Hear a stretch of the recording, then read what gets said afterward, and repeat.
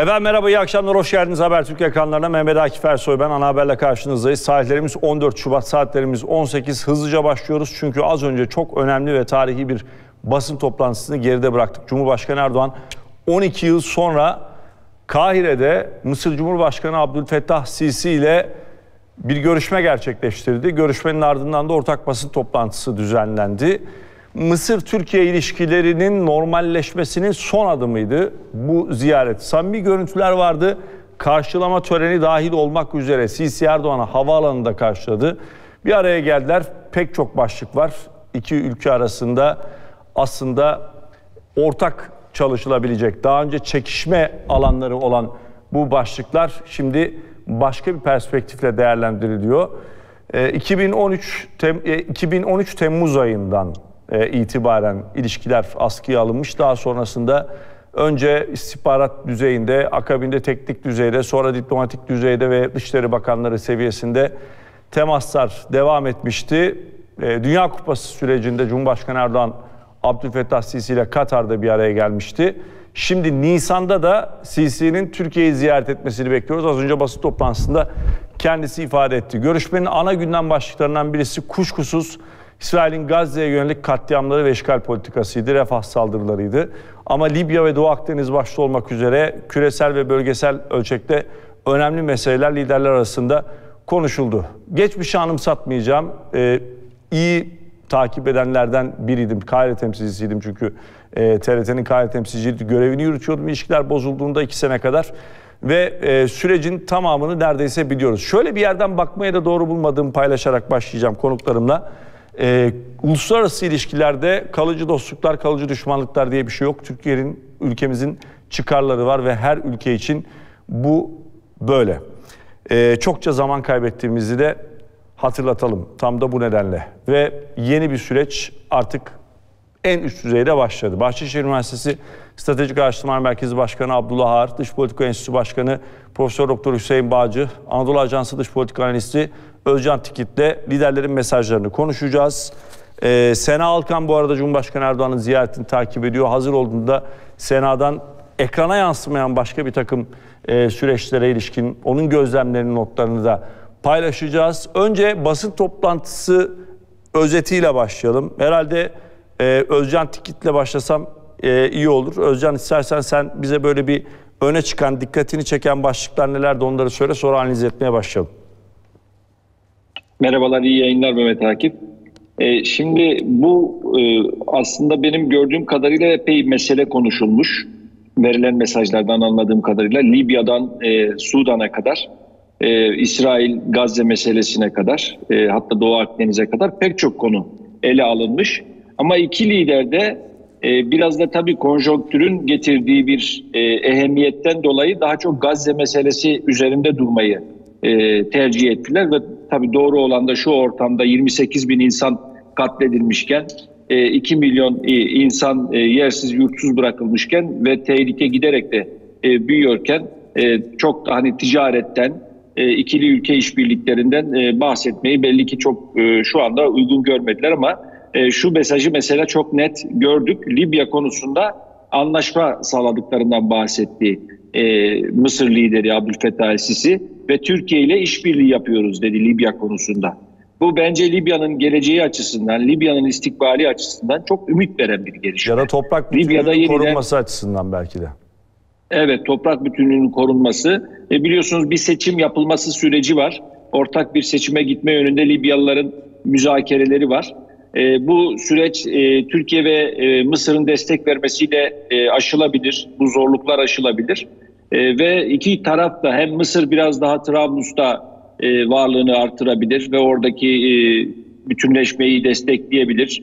E, ticari işbirliklerini artırabilir. Aynı şekilde Türkiye e, Hafter'in bulunduğu bölgede doğuda aynı e, etkinliğini gösterebilir, arttırabilir. İki ülkenin bu anlamda Libya'da e, yapabilecekleri, birlikte yapabilecekleri çok şey var. Aynı şekilde Doğu Akdeniz meselesinde de öyle. İki ülkenin e, bu Mısır'ın biliyorsunuz çok da hoşnut değiller. E, Doğu Akdeniz'de e, Yunanistan'la yaptıkları anlaşmanın biraz oldu bittiye getirildiğini düşünüyorlar ve burada haksızlığa uğradıklarına inanıyorlar. E, Türkiye de bunu onlara anlatıyor. Zaten bence bugün bu görüşmeyi iki başkent çok yakından izledi böyle kulaklarını kabartarak izledi. Bir tanesi e, Atina ise diğeri de e, İsrail e, izledi bu görüşmeyi çok yakından e, ve e, neler olduğuna e, anlamaya çalıştı.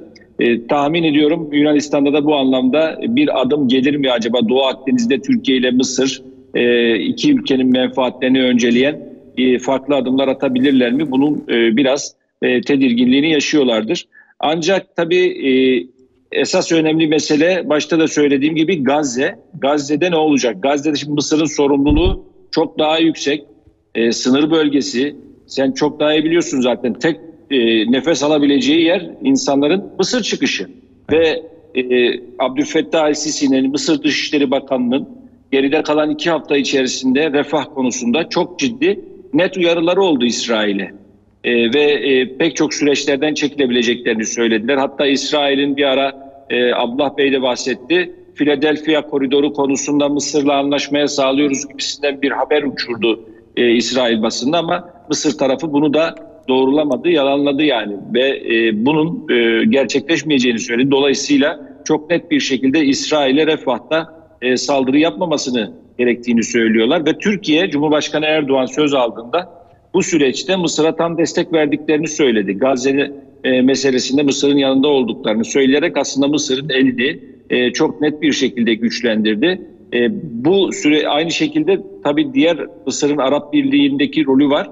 Mısır'ın e, ve Türkiye Arap Birliği'nde de İslam ülkeleri nezdinde de e, bu anlamda yeni bir e, sürecin oluşması, yeni bir momentumun ortaya çıkması ve İsrail'in buradaki e, bu kendini bilmezliğinin durdurulması anlamında birlikte e, ön al, e, alabilirler, rol oynayabilirler diye düşünüyorum. Benim e, dikkatimi çeken konulardan bir tanesi de e, savunma sanayiydi. E, biliyorsunuz e, Mısır'ın Türkiye savunma sanayine yönelik artan özellikle İHA'lar ve SİHA'lar bağlamında bir ilgisi söz konusu. E, Cumhurbaşkanı Erdoğan bundan bahsetti ve e, bu anlamda gelişmelerin olacağını e, na dair mesajlar verdi. E, belli ki e, satış e, zaten daha öncesinde de konuşuluyordu. Çok yakın bir zamanda gerçekleşecek. E, şimdilik benim aldığım notlar e, bunlar diyebilirim. Peki teşekkür ederim. Hüseyin Bağcı Hocam hem e, dikkatinizi çeken başlıkları hem de e, bu başlıklar üzerinden bundan sonra Türkiye-Mısır ilişkileri nasıl değerlendirmemiz gerektiğini buyurunuz dinleyelim. Şimdi e, bence Cumhurbaşkanı'nın en ilgi çekici cümlesi kardeşim Sisi'ydi. Yani bu çok önemli. Yani e, dediniz ya başta at, e, hatırlamayalım diye. Ama bugün gelinen nokta itibariyle Türk-Mısır ilişkilerinde bence de çok önemli bir sayfa açılacak. Açılması gerekiyordu zaten. Çok vakit kaybedildi Mehmet Akif Bey. Şimdi bu vakti bir an evvel e, hem ekonomik açıdan hem siyasi açıdan hem de askeri açıdan kapatmak gerekiyor. Bir de tabii Gazze olayının e, bu noktaya gelmesi her iki ülkenin de şimdi bu ilişkilerin içine girmeleri faydalı bir gelişme olarak değerlendiriyorum. Yani Mısır'la Türkiye'nin birlikte hareket edeceği bir alan e, açıldı. Tabii bu e, İsrail'i ne kadar durdurur durdurmaz ayrı bir e, konu ama Mısır'la Türkiye'nin birlikte hareket etmesi hem e, İslam konferansı e, içerisinde olsun hem de e, Mısır'ın üyesi olduğu Arap Birliği içerisinde olsun önemli. Çünkü Cumhurbaşkanı 12 yıl sonra gittiği Kaire'de ekonomiden e, askeri e, alana kadar birçok noktada önemli mesajlar verdi. Bence bu ziyaret genel itibariyle e, bir restorasyon, bir yeniden yapılanma dönemi Türkiye-Mısır ilişkilerinde. Siz de çok iyi biliyorsunuz. Bu tarihsel arka planı da Cumhurbaşkanı konuşmasında söyledi. Bu doğru. Şimdi bu kesintiden sonra e, önümüzdeki dönemde her iki ülkenin e, hem ikili anlamda hem bölgesel hem de küresel anlamda e, birlikte hareket edebilecekleri, yan yana durabilecekleri, aynı masada oturabilecekleri yeni bir e, diplomatik alan açıldı, siyasi alan açıldı. Bence bu önemli. E, Sisi'nin e, çok samimi bir şekilde karşıladığını e, görüyoruz. Yani gösterilen ilgi çok. Bir de e, tabii ben e, hocalık yaptığım için üniversitede beni ilgilendiren 22 bin e, Mısırlı öğrencinin Yunus Emre e, Enstitüsü'ne başvurup Türkçe öğrenmek istemesi. Bence bu çok e, önemli bir şey. Yani Mısır'la Türkiye arasında özellikle entelektüel alanda da kesintiye uğrayan ilişkilerin önümüzdeki dönemde gelişmesi gerekiyor. Bu nedenle üniversitelerimizin e, Mısır üniversiteleriyle daha fazla e, ilişkiye girmeleri, araştırma enstitülerimizin belli konular üzerinde daha fazla çalışmaları gereken bir e, dönem olacak diye düşünüyorum. Tabii e, bir başka e, nokta ben e, savunma sanayi alanında e, Mısır'la Türkiye arasındaki işbirliğinin de giderek artacağını e, görüyorum bu e, çerçevede. E, nereden bakarsak bakalım e, Mehmet Akif Bey, e, bu e, ziyaret önemlidir. Geçmişte yapılan hataların e, e, tamamlanmıştır. Şimdi önümüze bakalım. Ben de öyle düşünüyorum. Tarih zaten e, neler yapıldığını yapılmadığını anlatacak ama biz e, tarihin olmayıp geleceği bugün anlayıp geleceğe bakmamız lazım. Bu açıdan bakıldığında önümüzdeki süreç içerisinde ben Mısır'la Türkiye'nin birlikte hareket etmelerinin ikili anlamda ve bölgesel anlamda olmanın yanı sıra küresel anlamda da yeni bir sinerji yaratacaklarını e, düşünüyorum. Özellikle küresel güney e, tartışmalarında ve tabii Libya konusu e, Özcan Bey çok doğru bir şekilde söyledi orada. Yani Libya konusu bence çok önemli. Kuzey Afrika çok önemli. Sonuçta Mısır bir Afrika e, ülkesi. Sudan e, konuşuldu. Sudan'daki gelişmeler yani Türkiye'nin e, Kuzey Afrika'daki gelişmeleri Tunus, Cezayir, e, Libya, e, Fas gibi e, ülkelerle olan ilişkilerinde de e, Sudan'ı da katıyorum buna. Mısır'la birlikte e, hareket edebileceği bir ortama girilmiş olması bence Türkiye'nin de lehine, Mısır'ın da lehine. İyi kullanılması gereken bir süreç diye düşünüyorum. Teşekkür ederim. Abdullah Har, buyurun efendim. Şimdi Akif, e, benim son dönemde önemsediğim en önemli görüşmelerden, ziyaretlerden bir tanesi. Doğru. Şimdi e, şunu tahmin ediyorum. E, özellikle darbe girişiminden sonra ilişkilerin kopmasıyla birlikte bu ilişkilerin kopmasının iki ülkeye de ne kadar zarar verdiğini ve bu ortaya çıkan ayrılıktan kimlerin beslendiğini iki ülkenin de iyi gördüğünü değerlendiriyor. Şimdi burada şöyle bir cümle kuracağım. Bütün taşların yerinden oynadığı Orta Doğu'da, hatta taşların yerinden havalandığı Orta Doğu'da, Türkiye ile Mısır ortak bir vizyon ve misyon geliştirebilirlerdi. Yani mesele sadece artık e, bir vizyon geliştirme meselesi değil. Hepimizin gördüğü. Tepi gösterme meselesi de değil. Etkiye ihtiyaç var. Şimdi Mısır'la Türkiye ortak bir etki. Hem Orta Doğu adına hem insanlık adına hem İslam dünyası adına hem istikrar adına. Yani çünkü yani Mısır'ın ne kadar önemli bir ülke olduğunu hepimiz çok iyi biliyoruz. Onlar da bizim ne kadar önemli bir ülke olduğumuzu çok iyi biliyorlar. Ve ilişkiler 2013'ten beri koptu. Şimdi çok büyük, çok ciddi onarıcı bir ivmeyle buralara geldi. Ve taçlandı bugün. Ee, Sayın Sisi de Türkiye'ye geleceğini söyledi. Yani bir şekilde ilişkilerin derinleşmesiyle ilgili bir karşı e, refleks var. O zaman ben birkaç tane cümle kuracağım. Şimdi Abdullah çok özür dilerim bölüyorum sizi de. Bir Sena Alkan'a dönüp sonra devam edelim mi? Ee, hem görüşmeyi çok yakından takip ettim. Dikkatini çeken başka notlar varsa Sena'nın notlarını dinleyelim onlar üzerine de konuşalım. Müsaadeniz olursa e, çünkü onlar e, bu arada birlikte hareket ediyorlar. E, bir yoğunluk içerisindeler. E, böldüm özür diliyorum. Sena beni duyabiliyor mu? Duyabiliyorum Akif merhaba. Sena dinleyelim Sena merhabalar. Bu arada yani dikkatini çeken böyle gözlemlediğin şeyler olursa onları da lütfen paylaş. Kameralara yansımayan. Şöyle e, bir kere sarayda basın toplantısı esnasında biz e, içeriye giremedik. Dolayısıyla orayı gözlemlemeye ben açıkçası çok istiyordum ama o fırsat olmadı. Bir yandan da şimdi havalimanında bilirsin e, bu sokaklardaki trafik tıkandığında nasıl tıkanıyor. Tam olarak öyle bir tıkanıklık içerisinde havalimanına yetişmeye çalışıyoruz. Ama şöyle bir şey oldu artık. E, biraz aslında Kahire sokaklarında ne var onu gözlemleme fırsatını e, yakalamış olduk bu vesileyle. e, bir kere e, benim gezdiğim fırsatlarda geneliyle televizyonlarda e, Cumhurbaşkanı Erdoğan'ın e, Mısır Cumhurbaşkanı Sisi ile basın toplantısından resmi karşılama törenine kadar hepsi canlı yayınlarda, televizyonlarda açıktı. E, ve vatandaşlar, Mısırlılar izliyorlardı. E, anlaşılan o ki yani bir ge- geçtiğimiz sene yine bu zamanlarda seninle bu saatlerde benzer yayınlar yapmışız. O zaman işte Dışişleri Bakanı Mevlüt Çavuşoğlu e, bir normalleşme kapsamında yine bir ziyaret gerçekleştirmişti. O da 10-11 yıl sonra gelen bir ziyaretti.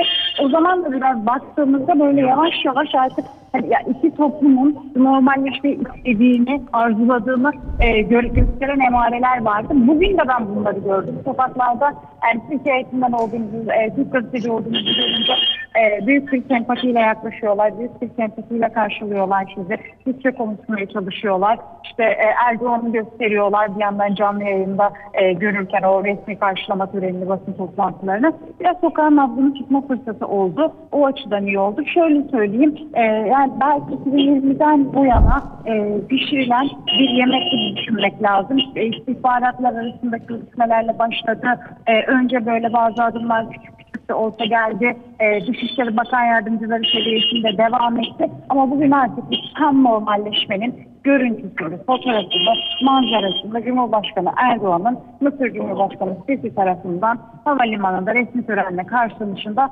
görmüş olduk. Bundan sonra Türkiye ilişkilerinde ya bölgedeki bu e, e, sıçrama, bölge Gazze'de İsrail'in durmaksızın devam eden saldırıları bunların hepsi artık bölgeyi kaçınılmaz olarak e, işbirliğine sürükleyen başlıklar. Dolayısıyla bunun yansımaları burada da var. Ana gündem maddesi Gazze konusuydu. Dün burada CIA Direktörü William Burns vardı. Yine Katar Başbakanı Khani de buradaydı. Onların da temasları oldu. Onların akabinde bugün Cumhurbaşkanı Erdoğan'ın e, temasları var. Yani ateşkese gidecek bir sürecin Gazze'de tesisi ve sonrasında iki devletli çözüme dönük e, bir hareketin gelebilmesi için bütün bu başlıklar hepsi tek tek ele alıyor. İkili ilişkilerde bir başka önemli. Tabii ya, uzunca bir derin dondurucuda kalan e, ikili ilişkilerden bahsediyoruz. Bunun da üstün ve olmasının çok çabuk hızlı olabileceğini ifade ediyor yine e, benim böyle görüştüğüm, tuttuğum yetkililer. Bu bağlamda bu bağlamda bakalım bundan sonra yakından takip edeceğiz. Sena teşekkür ediyoruz. Ee, Kahire trafiğinde hiçbir değişiklik yok. Onu fark ettik korna seslerinden. Arka planda Evet, çok yoğun şekilde 12 yıl sonra. Evet Abdullah e, bölgesi. Bu arada sokak niye önemli? E, yani bu tür e, süreçlerde aslında pek çok Arap ülkesinde, Suudi Arabistan'da da siyasi ilişkiler problemli olduğunda doğrudan sokakta bunu hissediyorsunuz iliklerinize kadar. Ee, Türkiye'ye karşı veya Türklere karşı ilişkilerde çok iyi olduğunda ilişkiler yine hissediyorsunuz. Yani havaalanı ülkeye girişinizden e, işte alışveriş yaparken ya da sokakta yürürken e, tamamen siyaset bu coğrafyada doğrudan halkların ilişkilerini de etkileyen bir şeye dönüşüyor. Onu söyleyebiliriz. Abdullah buyurun. Şimdi tabii e, sokağın siyasi süreçleri benimsemesi ve desteklemesi son derece önemli. Çünkü sonuçta çok ciddi bir karşılıklı etkileşim var. Ve e, hani ben ben de e, Irak tarafından biliyorum. Siyasi anlamdaki bir gerginlik bir şekilde e, büyük bir sosyolojik kutuplaşmaya dönüşüyor. Ama sosyolojik kutuplaşma yoksa siya- toplum destekliyorsa siyasetçiler de toplumun istediğini bir şekilde e, eş yönüm hareket ediyorlar. Şimdi tabii biraz önce bir başlık saydım. Abdullah Bunu buralarda tekrar öyle olmuyor. Bak bu coğrafyalarda siyasetin yaptığını toplum destekliyor. Ya, ya ben öyle düşünüyorum. Bilmiyorum Hüseyin Bağcı Hocam, Özcan Tikit ne der bilmiyorum ama burada biraz tersi bir durum var. Burada derken yani e, böyle işte Arap Yarımadası için, Kuzey Afrika'daki pek çok ülke için. Yani orada siyasetin aldığı bir karar toplumu doğrudan onun peşinden devam edebiliyor. Bura- Biraz daha ters bir durum var gibi. Evet. Bilmiyorum. Katılır mısınız? Şunu, şunu söylemek istiyorum. Öyle öyle. Öyle. Irak'ta Irak'ta bir şey yaşamıştım. Ee, Sayın Erdoğan yaklaşık 80 civarında stratejik işbirliği çerçevesinde anlaşma imzalayacaktı. Maliki iktidardaydı. Çok iyiydi altyapı, atmosfer. Çok uğraşmıştık. Bir kavga gürültü ondan sonra her şey bitti. Yani Ama şunu hiçbir zaman unutmadım. Yani orada gerginliğin zirveye ulaştığı anlarda bile Maliki'nin eksenindeki insanların dahi Türkiye'ye olan inancını, sevgisini, sempatisini kaybettiğini hiç görmedim. Ve en nihayet tahlilde başka ülkeler manipüle ediyorlar dahi olsa bir şekilde toplumun vicdanının dediği bir noktaya gitti iş. Yani benim anlatmaya çalıştığım da oydu. Şimdi Mısır, Mısır tabii farklı. Yani Ben de Mısır diyecektim farklı. girmedim. Yani- Suudi Arabistan, Mısır, Katar, Umman, Birleşik Arap Emirlikleri, ya tek tek sayayım mı bilmiyorum. Ya bu ülkeler farklı. Bu ülkelerde lider an, an, lider anladım, seviyorsa toplum peşinde Tabii ki. ister istemez Aynen onu öyle. da söyleyeyim. İster istemez gidiyor. O ister istemez Yani kısmı şimdi- önemli bence. Hayır. Yani şimdi, e, şimdi Mehmet Mısır, Akif Bey, Mısır top- tabldot yemek gibi ne çıkarsa onu yiyor yani alakart değil. yani öyle bir şey yok. Hocam ben, ben, ben, şöyle düşünüyorum. Şimdi Ama Irak orada farklı bir ülkede- şey yani. Irak Tabii Irak farklı. Hayır, Mısır'da da Mısır'da da sosyolojik bir kırılganlık var. Evet, e, İhvan hükümranken ona göre bir şey vardı ama Sisi'nin hükümran olmasıyla birlikte e, bir sosyolojik kırılganlık da ortaya çıktı. Şimdi o sosyolojik kırılganlık Sayın Erdoğan'ın e, Mısır Başkanı Sisi'yi ziyaretini nasıl algılıyor? O da önemli kendi içerisinde. Yani birazcık da ona ona atıfta bulunmak Tabii istiyorum. tabii. Şimdi Doğru şimdi, doğru. Güzel. Güzel. Doğru. Şimdi ortak bir vizyon ve ortak bir etki şekillenebilir mi? Benim en çok aradığım bu. Çünkü özellikle Gazze meselesinde çok iyi gördük bir kez daha ve bir ders çıkartıyor olmamız lazım. Ülkeler tek başlarıyla Amerika Birleşik Devletleri'nin desteğini almış İsrail'le mücadele edemediler. Akan kanı durduramadılar ve orada en ufak bir insani yardımın oraya girişi bile çok büyük bedeller ödenerek, çok büyük zorluklar içerisinde yapılabildi ve zaten de yapılamadı doğrudur. Şimdi ortak bir etki gelişir mi? İkili işbirlikleri üzerinden, üçlü veya çok işbirlikleri üzerinden. Buna dair son derece önemli bir altyapı oluşturabileceğini değerlendiriyorum. Çünkü gerçekten e, son derece sıkıntılı bir evrede gerçekleşti ziyaret. Yani Mısır'ın e, tanklarını Gazze sınırına gönderdiği, e, İsrail'in de Philadelphia koridoru üzerinde bir askeri harekata başlayacağı ve duvarın yıkılması riskinin ortaya çıktığı ve bununla ilgili bir takım senaryoların konuşulduğu devrede ziyaret ortaya çıktı. Şimdi şöyle cümleler kurdular. Dediler ki yani yabancı medyada okuyoruz. İşte Mısır'a borçlarını silelim, para verelim, 50 milyar Evet. dolar verelim, buradan yüz düşürelim. Mısır bunları alsın. Mısır tamam almayacağım diyor direniyor ama bir yandan da şey var Akif biliyorsun 22 milyar dolar para karşılığında bir takım karasal alanlarını Birleşik Arap Emirlikleri'ne açması gibi bir başka fotoğrafı var. Sıkıntısı var. Şimdi bu zafiyetini, sıkıntısını birileri e, kullanabilir mi? Burada Mısır bir senaryoya zorlanabilir mi? Tepki verici, itiraz edici ama bir şekilde insani bir dramın, zorlamanın baskı ortaya çıkmasıyla birlikte kabul edebileceği, kabul etmek zorunda kalabileceği bir projeyle karşı karşıya kalabilir. Bu bir. İkincisi, e, tabii ortak bir vizyon, Orta Doğu yeniden şekil. Şimdi burada Türkiye ile Mısır ortak bir vizyonla beraber geliştirebilirler mi? Bir işbirliği geliştirebilir mi? Bunun kökeninde, merkezinde neyi görüyorum? Tabii zenginleşmeyi görüyorum, güçlenmeyi görüyorum.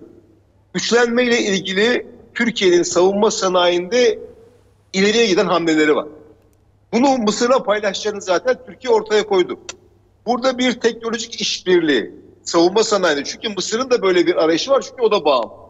O da bağımlılık zincirlerini kırmak istiyor. Bir diğer tarafıyla Gazze Savaşı'nın sebeplerinden bir tanesi sayılan Ariş'teki doğal gaz yatakları başta olmak üzere Mısır'ın son derece geniş doğal gaz rezervleri var. Şimdi bu rezervler Türkiye üzerinden pazarlanabilir. Türkiye'yi besleyebilir. Bir diğer tarafıyla Yunanistan'la Güney Kıbrıs'ın kesimi büyük bir fırsat yakalamışlar ve bu fırsatı değerlendirmişlerdi. Mısır ihtiyatlı davranmıştı. Meis adasındaki ortaya koymuş olduğu pozisyon başlatmak üzere. Deniz yetki alanları ile ilgili Türkiye ile Mısır arasında bir ilişki, bir anlaşma gelişir. Bunu çok önemsiyorum. Öte tarafıyla tabii Libya meselesi, Sudan meselesi, e, Irak meselesi, Suriye meselesi bu dört ülkeyle ilgili ortak bir etki gelişirse, refleks gelişirse bölgedeki sorunların çözülmesiyle ilgili son derece önemli bir irade ortaya çıkıyor. Bu, bunu çok önemsiyorum. Bir diğer tarafıyla tabii hiçbir şey gelişti. Bitiriyorum, uzattım. Bu e, Etiyopya'ya Türkiye'nin geliştirmiş olduğu bir ilişki var. Ama Etiyopya ile Mısır arasında Rönesans Barajı üzerinden savaşa varan bir gerilim. Bir diğer tarafıyla da Etiyopya'nın Somali'ye rağmen Somaliland üzerinden denize ulaşma ile ilgili yapmış olduğu bir şey var. Her iki ülkede Somali'yi destekliyor. Türkiye ve Mısır. Evet. Ama yeni bir fotoğraf ortaya çıktı. Şimdi burada denge nasıl şekillenecek? Açıkçası bunu da merak ediyorum. Peki Ablar çok teşekkür ediyorum. Ee, Hüseyin Bağcı Hocam teşekkürler. Hocam teşekkür ediyoruz. Ee, devam edeceğiz. Muhtemelen de çok konuşacağız Türkiye-Mısır ilişkilerini. Abdullah'ın da özetlediği başlıklar üzerinden. Libya'da çünkü bizim durduğumuz yerle Mısır'ın durduğu yer e, çok farklıydı. Ortadoğu'daki pek çok politikada. Şimdi bu ilişkilerin düzelmesiyle birlikte farklı süreçler şekillenecek ve olur da kısa süre içerisinde toparlanma fırsatı yakalanırsa bambaşka bir yere doğru gidebilir süreçler. Biz ne yapacağız? Kendi gündemimize döneceğiz hemen. İzmir'e gideceğiz. Ee, İzmir'de bir misafirimiz var, konuğumuz var. Habertürk İzmir temsilcisi Gülçin Alçe Hacı Evliyagil, e, Cumhuriyet Halk Partisi'nin Büyükşehir Belediye Başkanı adayı Cemil Tugay'ı misafir edecek. Sözü onlara bırakacağız. Mehmet Akif Ersoy İzmir'den merhaba. Tabii 31 Mart yerel seçimlerine artık geri sayım başladı. Sayılı günler kaldı. Hem seçim bölgelerinde hem de tabii ki sahadaki çalışmalar hareketleniyor. Biz şimdi Konak'tayız. Aslında İzmir'in kalbindeyiz. Mevcut başkan, Karşıyaka'nın belediye başkanı da Cemil Tugay da yanımızda. Ancak tabii ki Cumhuriyet Halk Partisi'nin İzmir'deki Büyükşehir Belediye Başkan adayı olarak da kendisini ağırlıyoruz. Hoş geldiniz. Çok teşekkür ederim Gülçin Hanım, hoş bulduk. Hoş bulduk. Şimdi e, çok güzel bir manzara var. İzmir'i konuşacağız. İzmir'in tabii ki size e, yönelik, sizin e, hazırladığınız projelerinizi konuşacağız. Bu noktada İzmir'in de beklentileri çok fazla. Öncelikle tabii ki sizi büyük şehire taşıyan e, adaylık nasıl gelişti onu merak ediyoruz. Değişimden yanayım dediniz. Ondan sonra İzmir'de bir değişim oldu. Evet. Ne nasıl oldu? O süreç nasıl gelişti? Çok teşekkür ederim. Bizi dinleyen herkese iyi akşamlar diliyorum. Sözüme başlamadan önce e, üzüntülü olduğumuz e, bir konuyu Erzincan İliç'te yaşanan maden alanındaki göçük sonrasında e, göçün altında kalan işçilerimizle ilgili e, büyük üzüntü duyduğumuzu, kendilerine yani umarım e, sağlıklı bir şekilde kurtarılırlar. E, bu olayda mağdur olan herkese geçmiş olsun e, dileğimi e, dile getirmek isterim. E, umuyorum e, iyi sonuçlanır. E, Umuyoruz. Evet. Şimdi ben Karşıyaka'ya e, belediye başkanı olduğum andan itibaren e, kendimi bir yerel yönetim e, ortamında buldum. Onun öncesinde şunu söylemek isterim. E, bu şehrin dört bir köşesinde yaşamış, işte Balçova'sında, Buca'sında, Bornova'sında, e, Karşıyaka'sında, Tire'sinde pek çok farklı yerlerinde yaşamış e, bir e, İzmirli olarak e, doktor olarak hayatımı devam ettirirken e, bir sorumluluk hissiyle e, siyasete katılma ve siyasette bir şeyler yapma isteği duydum. E, o yolda siyasi deneyimlerim el, e, oluştuktan sonra Karşıyaka Belediye Başkanlığı'na layık görüldüm. Bu büyük bir onurdu. E, büyük bir istekle görevime başladım. 5 yıl boyunca e, yüzden fazla gerçekten tam sayısını söyleyemem ama çok sayıda e, önemli proje yaptık. Sayın Ee, Tugay orada sosyal belediyecilikle özellikle çalışmalarınız öne çıktı. Ee, izlenimimiz o şekilde. Çünkü 3. Yaş Üniversitesi, Alzheimer değil mi? Ee, daha çok sosyal belediyecilik çalışmalarınızla yol aldınız. Bundan sonra tabii ki İzmir'de büyük şehir, büyük projeler e, nasıl ilerleyecek? Şimdi biz e, her şeyden önce e, bir proje geliştirmeden önce e, kurmuş olduğumuz Türkiye'de aslında ilk olan bir birim e, vatandaş katılım birimiyle e, 20 binden fazla vatandaşımızın kapısını çaldık. Hem o yöntemle elde ettiğimiz veriler hem de genel bir kamuoyu araştırmasıyla elde ettiğimiz verilerle yurttaşlarımızın bizden ne beklediğini, ne talepleri olduğunu anladık ve çalışmalarımızı ona göre yönlendirdik. Sonrasında e, her yaş grubundan e, insana hizmet ettiğimiz bir eylem süreci başlattığımızı söyleyebilirim. Mesela yeni doğan çocuklarla ilgili Karşıyaka 95 isimli bir projeyi e, faaliyete geçirdik ve e, geçen 3 yıl içerisinde 15 binden fazla evi ziyaret ederek yeni doğan bebekleri e, arkadaşlarımız takip ettiler. Annelerine eğitim verdiler ve onların sorunlarıyla ilgilendiler. E, engellilerimiz için kısa süreli bir engelli dinlenme tesisimiz var. Burada engellilerimizin kendileriyle e, ilgili onları geliştirmeye amaçlayan faaliyetler yaparken ailelerine de ihtiyaç duydukları her türlü desteği verdik. Şimdi Yine- ben şöyle devam etmek istiyorum. Çünkü bunlar çok özel, güzel projeler. Tam da Karşıyaka'da yapılmış projeler. Ee, İzmir'in de tabii ki öyle sorunları var ki göçle birlikte artan, nüfusun yoğunluğuyla birlikte hızlanan yani bir metropol sorunuyla karşı karşıya. Altyapı, ulaşımdan tutun da kentsel dönüşüme kadar. Tabii ki burada İzmir'in beklentilerini de konuşalım istiyoruz. Ee, çünkü İzmir'in özellikle altyapı sorunları, su taşkınlarıyla karşı karşıya kalabiliyoruz. İklim değişikliğinin yarattığı benzer e, sonuçlar var. Bu nedenle somut projeler İzmirliler duymak isteyecektir. Neler söylemek istersiniz? Ben hani Karşıyaka'da yaptıklarımızı biraz örnek olarak anlatmak istedim. Ee, şöyle ilçe belediyesinin sorumluluğunda olan alanlar var ama e, altyapı, ulaşım, trafik gibi konular aslında Büyükşehir Belediyesi'nin sorumluluğu altında. Ben e, ilçe belediyesinde yaptıklarımızı e, bir mikro model olarak e, insanlarımıza hani anlatarak bunların daha üst ölçekli modellerini İzmir'in genelinde bütün ilçelerde uygulayacağımızı söylemeye çalışıyorum. Yani bunlar e, öyle ki mesela spora yetenekli olan çocuklarımızı doğru branşlara yönlendirmek gibi çöp sorunu ile ilgili olarak e, klasik yerüstü konteynerlerini yeraltı çöp konteynerleriyle değişmek gibi yine e, daha yeşil bir kent olması açısından Karşıyaka'da biz 5 yılda 100 bin tane ağaç diktik Karşıyaka'nın merkezine. E, bir kent ormanı projemiz var ki dünyada aslında ilktir. Tamamen ağaçsız olan toprağa, e, ağaç gelişimine uygun olmayan bir alanda böyle bir çalışma yaptık. E, ve mesela 50 binden bir yılda 50 binden fazla hayvanı kısırlaştırdığımız bir veterinerlik hizmeti de gerçekleştirdik.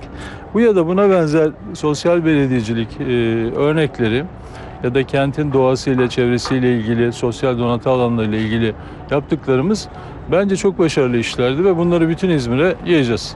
Şimdi e, bahsettiğiniz İzmir'in genelinde şikayete ma- konu olan sorunlarla ilgili elbette bir İzmirli olarak ve geçen 5 yıl içerisinde bir ilçe belediye başkanı olarak olan biteni ben de gördüm, gözlemledim. Sizce Ee, en temel sorun nedir İzmir'de? Yani e, Büyükşehir Başkan adayı olmadan önce de gördüğünüz, gözlemlediğiniz şu hani göreve de gelirsem ilk icraatım şu olacak dediğiniz ne vardır? Şimdi genel anlamda şikayetlere yol açan e, işte mesela su baskınları var. Bunlarla ilgili su baskınlarının yaşadığı yaşandığı bölgelerde e, suyu direne eden ve terfi istasyonlarıyla e, onların e, bir su baskınına dönüşmesini engelleyen bir projeyi hemen e, aktive edeceğimizi söyleyebilirim.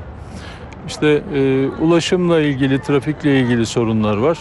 E, trafiği rahatlatmak için e, derhal başlayacağımız işte akıllı trafik sistemi, e, kavşak düzenlemeleri, e, yol genişletmeleri gibi bazı çalışmalar var. Bunlar için ilk 6 ayda yapacaklarımız ve daha ileride yapacaklarımız diye ayırdığımız grup grup projelerimiz var. E, yine e, bizden beklenen şey mesela 90 dakika uygulamasının geri gelmesi otobüslerde. e, öğrencilerin daha uygun fiyatlı olarak toplu ulaşımı kullanması gibi şeyleri de derhal hayata geçireceğiz. Bir de içme suyu çok pahalı e, bulunuyor İzmir'de. Bununla ilgili tabii ki vaatler de veriliyor. Siz bu noktada İzmirlilere ne söylersiniz? İçme suyunun fiyatını kesinlikle e, aşamalı olarak, tedrici olarak düşüreceğiz ve e, şunu da söyledim. iki sene içerisinde e, İzmirliler bütün büyük şehirler arasında en uygun fiyatlı suyu kullanacak. Yani böyle bir vaadi söyledim. Burada bir planımız var. O çerçevede bunu söylüyorum. Ee, İzmir'de suyun elde edilmesi biraz daha yüksek maliyetli. Çünkü daha ağırlıklı olarak yeraltı suyunu kullanıyoruz. Bu da enerji maliyetini yükseltiyor. Önce bununla ilgili yani bu gideri nötralize ede- edecek bazı önlemler almamız lazım ki yenilenebilir enerji yatırımları, daha enerji verimliliği projeleriyle bunu yapacağız.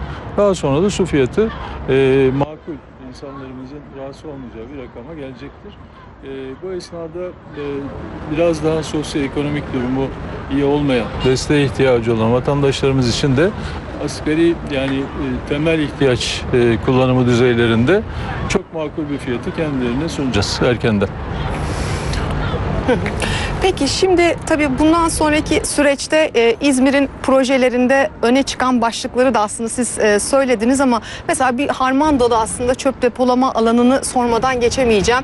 E, çoğu zaman da merkezi yönetimin de İzmir'deki önemli icraatlarda e, fazla da rol ol- almadığı söyleniyor. E, böyle bir e, acaba mekanizma İzmir için geçerli olursa sizin duruşunuz nasıl olur onu da merak ediyoruz. Çünkü genelde hizmet alamamanın e, bahanesi olarak da bu ileri sürülüyor. Şimdi şöyle her şeyden önce şunu söyleyeyim. Hani projelerimizi e, çok yakında e, bir hafta e, içerisinde olduğunu söyleyebilirim. Yapacağımız bir lansmanla detaylı olarak tüm İzmir halkına duyuracağız. Orada çok daha detaylı olarak açıklayacağız bunları. Ama hani sorunuza cevap niteliğinde sorunuzu cevaplamamış olmak adına e, şunu söyleyebilirim. E, çöpü e, ayrıştırma, yakarak bertaraf etme ve bu şekilde depolama alanları sorunundan kurtulma gibi genel bir düşüncem var. Ee, bununla ilgili ilk günden itibaren bir proje çalışması başlatacağız. Hem e, çöpten e, elektrik elde edeceğiz hem de bir çöp depolama alanına ihtiyacımız kalmayacak. Organik atıkları komposta dönüştürerek toprağın organik içeriğini zenginleştirme gibi bazı özel fikirlerimiz de var. Bunlar Türkiye'de ilk olacak. Yani e, belki dünyaya örnek olacak çalışmalar olacak. İzmir halkı çok duyarlı olduğu için e, onlarla birlikte bunu yapmak hem keyifli olacak hem çok başarılı olacağına eminim. Şimdi tabii İzmir'e gelenlerin özellikle geçtiği ve kullandığı da yaşarken de kullandığı nokta hemen arkamızdaki İzmir Körfezi. Ee, ve öyle ki kimi zaman kokusuyla gündeme geliyor. Bununla ilgili çalışmalar yapılıyor. Ee, ama e, bazı şeyler de değişmiyor. Değişmeye de ihtiyacı var. Tabii Körfez'le ilgili e, önceki dönemde de yüzülebilir Körfez hedefi vardı. Sizin böyle bir hedefiniz var mı? Körfez'le ilgili özellikle projenizi merak ediyoruz. Çünkü sadece İzmir'in değil, İzmir'e gelenin de kimi zaman rahatsız olduğu bir durum olabiliyor. Bir kere her şeyden önce şu anda hali hazırda İzmir Büyükşehir Belediye'mizin e, bu yönde çalışmaları var ve e, başarılı sonuçları var. Yani e, bir dönem biraz yoğun yaşanmış bir problem olsa da son zamanlarda ciddi olarak bir düzelme var bu problemde. E, İzmir'in bir kanal master planı var. E, arıtma e, tesisiyle ilgili onun kapasitesini büyütme yönünde bir şey var, proje var. Her ikisi de şu anda çalışılıyor, devam ediyor. E, biz bu çalışmaları hızlandırarak aynı zamanda dereleri rehabilite ederek çünkü derelerden de bir körfez kirlenmesi gerçekleşiyor. E, koku sorununu çok kısa zamanda çözeceğimize inanıyorum. Gerçekten yüzebileceğimize inanıyorum. E, bu arada körfezin kendini temizlemesi için e, bir sirkülasyon kanalı yapılması gerekiyor. Bu da çok kısa zaman içerisinde yapacağımız işlerden birisi. Evet. Peki tabii çok acı bir tecrübe yaşadık biz İzmirliler olarak ve sonra arkasından da 6 Şubat geldi. 30 Ekim e, depremi e, yani yüzlerce canımızı kaybettik. Dolayısıyla aslında kentsel dönüşüm e, tüm Türkiye'deki büyük şehirlerde olduğu gibi İzmir'in de sorunu. Yapı stoku anlamında da çok yorgun ve yaşlı. E, bununla ilgili çalışmalarınız ne olacak? Dirençli bir kent olabilecek mi İzmir? Yani e, 6 Şubat ve onun öncesinde bizim yaşadığımız 30 Ekim depremleri gerçekten bizim için ders niteliğinde depremlerden en büyük dersi alan şehirdir İzmir. Bizzat kendimiz de yaşadığımız için. E, halihazırda yine e, tekrar söyleyeceğim yapılmakta olan bazı çalışmalar var. Mikro bölgeleme çalışması, bina envanter çalışması, e, bunlar bir ölçüde tamamlandı ama biz bunun çok hızlı bir şekilde geri kalanını yapacağız. Arkasından da kentsel dönüşümü kolaylaştıracak bazı e, revizyon kararları almayı düşünüyoruz. Evet. E, eş zamanlı olarak da e, yeni konut alanları gerekiyor. E, rezerv alanlarında e, toplu konut projeleri yapmayı düşünüyoruz belediye eliyle. Evet. Tabii e, İzmir'in sorunlarını konuşurken e, hayallerinizi de merak ediyoruz. Bu hayallerin e, doğrultusunda alınacak yolları merak ediyoruz. E, vaatler tabii ki şu anda konuşuluyor. Özellikle bakıyoruz ki diğer partilerin de adaylarının da motivasyonu yüksek. E, sizin motivasyonunuz da yüksek görüyoruz sahada özellikle ama tabii Karşıyaka'da daha çok tanınan bir başkandınız. Şimdi aslında bütün ilçelere uzandığınız bir süreci yaşıyoruz. E, bu noktada e, parti içindeki değişim de aslında biraz e, açıkçası hem de adayların belirlenme süreci de uzun oldu. 9 Büyükşehir Belediye Başkan adayı vardı ve siz onların arasından talip oldunuz bu göreve. E, bu noktada acaba o parti içinde de bir yarış var mı E, veya size destek var mı? Nasıl ilerliyorsunuz? Yani demokrasinin doğal bir gereğidir yarış. Bu partiler arasında olduğu gibi parti içinde de olur. Ee, biz Cumhuriyet Halk Partisi olarak biraz bu süreçleri şeffaf yaşıyoruz. O yüzden belki biraz daha fazla görünür oluyor bazı şeyler. Ama e, Cumhuriyet Halk Partililer bilir. Ben yıllardır Cumhuriyet Halk Partisi üyesi olan, burada siyaset yapan, belediye başkanlığını yapmış olan bir e, partili olarak şunu söyleyebilirim. Ee, bu adaylaşma süreçlerinde tabii ki bazı tartışmalar olacaktır, bazı anlaşmazlıklar olacaktır, sesler yükselebilecektir. Ama e, seçime giderken e, Cumhuriyet Halk Partililer her zaman e, bir olmayı, bütün olmayı, başarıyı hedefleyerek ortak çalışmayı başarmıştır. Bu dönemde de hem İzmir'de hem Türkiye'nin diğer kentlerinde bu birliğin, beraberliğin sağlanacağına hiç şüphem yok. Evet, bugünkü seçim çalışmalarınızda ben İzmir aşığıyım. Öyle bir çalışma ortaya koyarım ki insanlar 50 yıl konuşsun demişsiniz. Ee, değil mi? O yüzden de merak ediyoruz o 50 yıl konuşulacak e, İzmir'in de sorunlarının e, çözüm noktasında o projelere. Şimdi hayatının hemen hemen tamamını İzmir'de geçirmiş. Çocukluk anıları İzmir'de olan, gençlik anıları İzmir'de olan, meslek yaşamının çok büyük çoğunluğu İzmir'de olan ve siyasi yaşamının da e, tamamı İzmir'de olan e, bir İzmirli olarak Evet, şöyle size uzatayım mı? Zaman zaman İzmir'e dair- sıkıntı oluyormuş. İzmir'e dair tabii ki çok e, büyük hayallerim var. Çok değerli hayallerim var. E, ben İzmir'in bir kent olarak kent kültürüyle, kent yaşamıyla, yaşam şekliyle çok özel bir şehir olduğunu düşünüyorum. E, bunu korumamız e, hepimiz için çok değerli. E, onun üzerine de tabii ki İzmir'i e, Türkiye'nin önce ve sonra dünyanın gözde kentlerinden birisi yapmayı istiyoruz. E, burada bahsettiğim e, mesela Cenevre gibi uluslararası bir merkez. Çünkü İzmir'in e, İzmir çok önemli bir ticaret kenti, ticaret merkezi aslında. Hem Ege bölgesi için hem Türkiye için. E, bu nedenle e, dünya içinde bir merkez olabilir, bir ticaret merkezi olabilir. İşte Londra gibi ekonomisi güçlü bir şehir, Madrid gibi neşeli bir şehir ve Singapur gibi de e, çok temiz bir şehir olabilir. Bu bunların hepsinin sentezi olacak İzmir. Böyle bir hayalimiz var. E, bu hayalle e, İzmir'i dünyanın incisi yapma yolunda çalışacağız. Evet, Ege'nin incisi dünyanın incisi olacağız Evet. umuyoruz. Çünkü e, hepimiz İzmirliyiz. E, bu kentte yaşıyoruz tabii ki. Ne mutlu E, bize. bizim özel bir e, tabii ki tarafımız var. İzmir'e özel tarafımız var. E, dolayısıyla bu kent ne kadar gelişirse Türkiye ekonomisi içinde daha önce olduğu gibi bir cazibe merkezi olabilecek. Tabii bu noktada Sayın Tugay e, çalışmalarınızı, sahadaki çalışmalarınızı merak ediyoruz ama aynı zamanda da tabii ki sizi de tanırken e, İzmir'e, tüm Türkiye'ye tanıtırken de bir aslında bir hekimlik geçmişiniz var. Evet. Hekimlikten siyasete geliyorsunuz. Sonrasında e, 14 yıl önce aslında Cumhuriyet Halk Partisi ile yollarınız kesişiyor.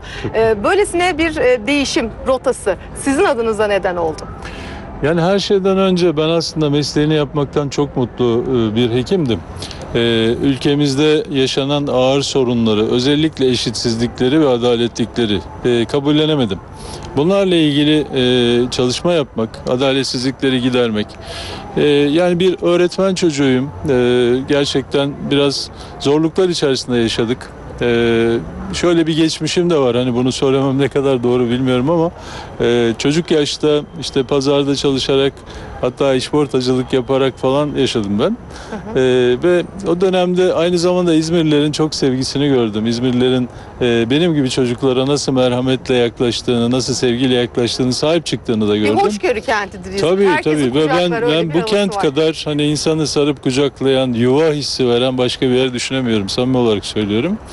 Ee, ve e, böyle bir kentin e, yetiştirdiği çocuklardan biri olarak çok iyi bir meslek sahibi olsam da, işlerim yolunda olsa da dışarıda yaşanan problemlere duyarsız kalamazdım. O nedenle siyasette katkı vermek istedim. Ee, ve başladım siyasette çalışmaya. Daha sonra belediye başkanlığı onuru verilince tabii ki benim için çok e, çok önemli bir şey oldu. O andan itibaren de insanlara adeta birebir dokunacağımız, özellikle zorluk yaşayan insanlara yani kimi zaman yaşlılar, engelliler dedim ya yoksul insanlar, ihtiyacı olan herkes ama bir insanın bir sorununu bize iletmesi ve bizim o konuda bir şeyler yapabilmemiz inanılmaz güzel bir duygu. Yani e, bunu hayal eden herkese gerçekten Allah nasip etsin derim. O kadar e, özel bir durum. Ve bu yolda e, başarılı olduğunuzu görünce e, tabii ki bunu büyütmek, e, daha böyle büyük işler yapmak istiyorsunuz. Şimdi çok sevdiğiniz bir şehir var. Aşık olduğunuz bir şehir var.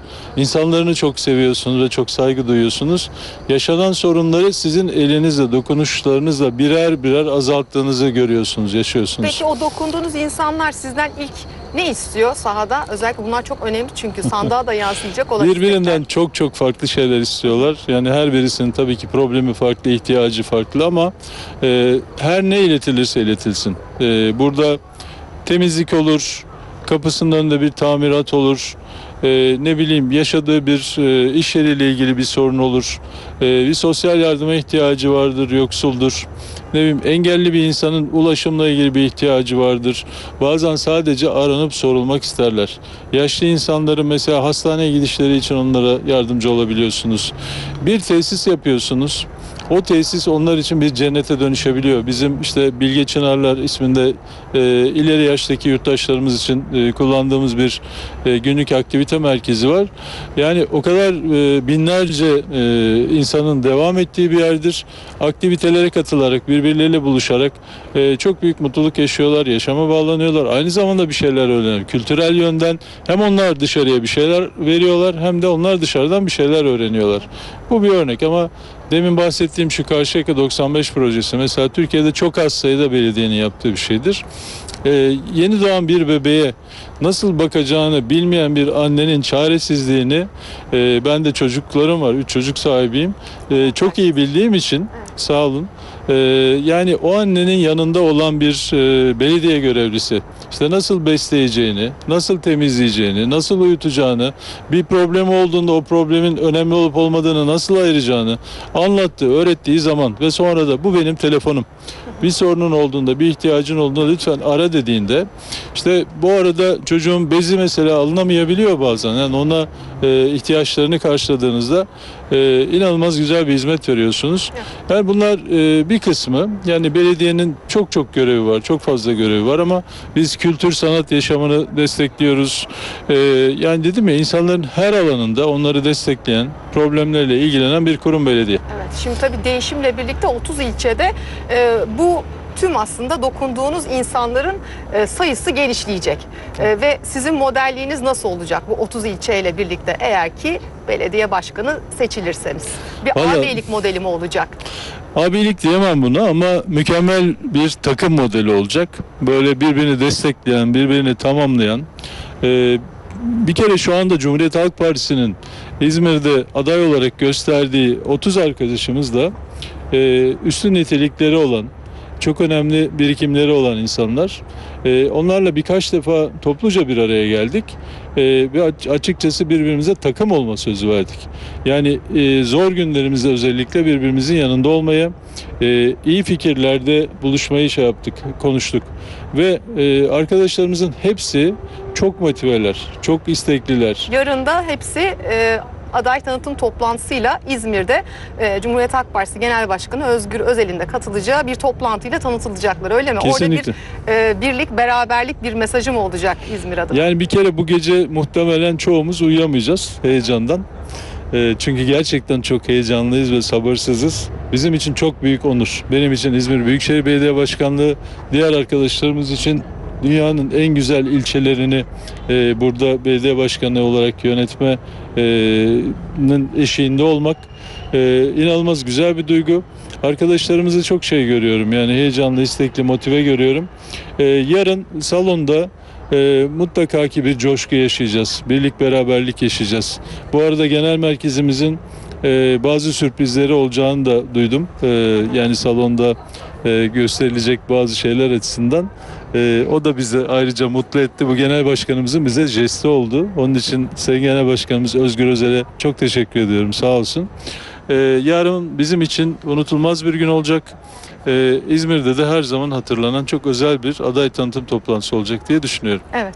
Hayırlısı olsun. 31 Mart seçimlerine doğru e, hem sahadaki çalışmalarınız e, tüm bu süreçte size başarılar diliyoruz Sayın Tugay. Yarın da e, bir aday tanıtım toplantısıyla birlikte artık İzmir'de e, herkes aslında adayı adayları daha yakından tanımış olacak. Öyle zannediyoruz. Evet. Ee, bir şey söyleyeyim hani atlamış olmak istemem bunu.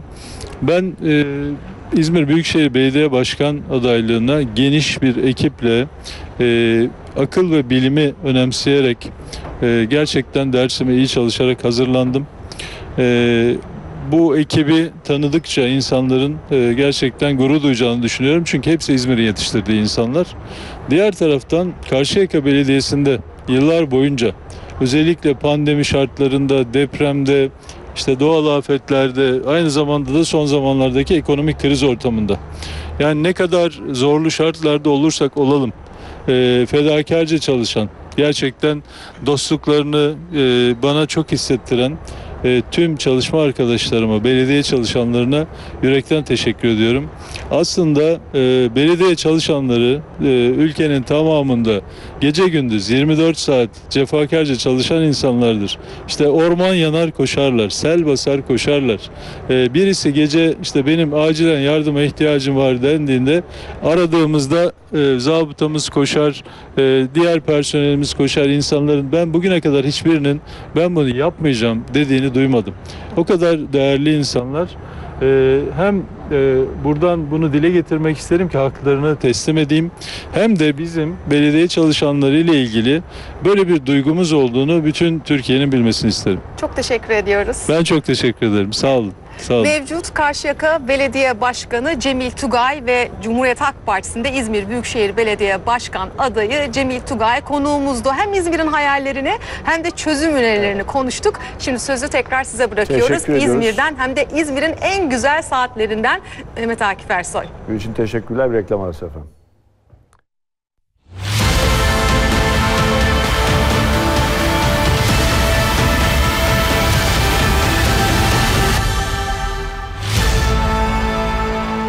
Efendim tekrar merhabalar. 19 saatlerimiz Mehmet Akif Ersoy ben. Ana habere devam ediyoruz. Erzincan'la başlayacağız. Ee, iki kelimenin yan yana geldiği tuhaf durumlardan ve üzerine aslında belki aylarca, yıllarca böyle fikir teatisi yapabileceğimiz, düşünebileceğimiz bu madenciliğin başka bir şeyi. Yani madenciler üzerine konuştuğumuz çokça şeyin de dışında. Çünkü iki kelimeden kastım altın ve ölüm, e, altın ve göçük, altın ve kayıp, altın ve toprak altında kalma meselesi. E, bir dönem bu Afrika'daki elmas madenleri üzerinden çekilmiş bir filmle hayatımıza böyle bıçak gibi girmişti ama hiçbir zaman pırlanta almayı terk etmedik. Yine terk etmeyeceğiz pek çok şeyi. Ee, ama Erzincan'da altın madeni sahasında meydana gelen göçükte toprak altında kalan 9 işçimiz var. Hala arama çalışmaları devam ediyor. Umuyoruz ve diliyoruz ki iyi bir haber alalım. Birinden, üçünden, beşinden, keşke hepsinden. Yakınları onlardan gelecek haberleri gözyaşlarıyla bekliyorlar. Yüzlerce ekip işçileri bulmak için seferber olmuş durumda. Bakanlar da süreci takip ediyorlar. Olayın herhangi bir çevre kirliliğine neden olmadığı bir taraftan da açıklandı. Göçükle ilgili soruşturmada devam ediyor.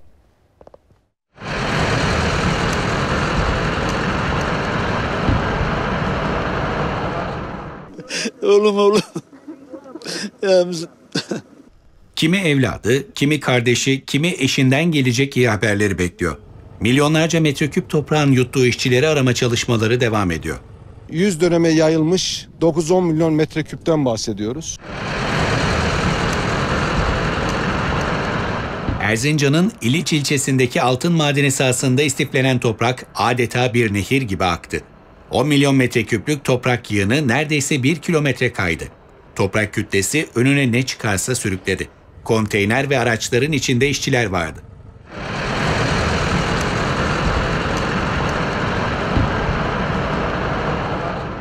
Ortaya çıkan geri görüntüler olayın boyutunu bir kez daha gözler önüne serdi. Toprak yığını yoldan geçen kamyonların üzerine aktı. Bir kamyon yığının altında kalırken diğer üç araç son anda göçükten kurtuldu. Beşinin bir konteyner içinde yer aldığı, üçünün bir araç içinde ve aynı bölgede yer aldığı, diğer şoförümüzün de kamyon içinde farklı bir bölgede olduğu değerlendiriliyor. Toprak altında 9 işçi var. Onlardan biri de Uğur Yıldız. Yıldız ve diğer işçilerin yakınları haberi alır almaz maden sahasına geldi. Gözyaşları içerisinde zorlu bekleyiş başladı. Uğur Yıldız 7-8 senedir burada çalışıyor. Kurtarın. Damadımı kurtarın. Herkes müdahale etsin. Arama kurtarma çalışmalarının güvenliğinden hiç taviz vermeksizin devam etmek istiyoruz. Yüzlerce personel toprak yığının altından kalan işçilerden bir iz arıyor. İşçilerin içinde olduğu konteyner ve araçlar metale duyarlı cihazlarla aranıyor. Daha hızlı aksiyon alabilmek adına bu radar taramalarıyla e, bu araçlar ve konteynerla ilgili bir iz alır almaz daha çok oraya odaklanıp mesafe almak istiyoruz. Altın madeni sahası 2004 yılından bu yana faaliyet gösteriyor. Madende en son denetim geçen yıl Ağustos ayında yapıldı. Onların yaptıkları denetimlerde bugün gerçekleşen e, maden kazasıyla alakalı herhangi bir tespit yok. Sağda kayan toprak kütlesinin çevreye zarar verdiği iddiaları üzerine Çevre Şehircilik ve İklim Değişikliği Bakanlığı bir açıklama yaptı. Açıklamada sabırlı ve çöpler dereleriyle Fırat Nehri boyunca anlık numuneler alındığı ve kirlilik tespit edilmediği vurgulandı.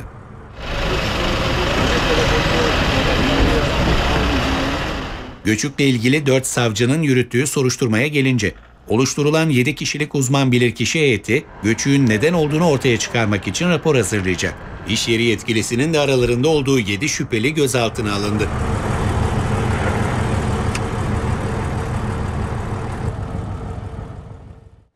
Bölgeye gideceğiz. Erzincan İliçe maden sahasında arama kurtarma çalışmalarında zamanla yarış devam ediyor. Son durumu Habertürk muhabiri Veysi İpek bize paylaşacak.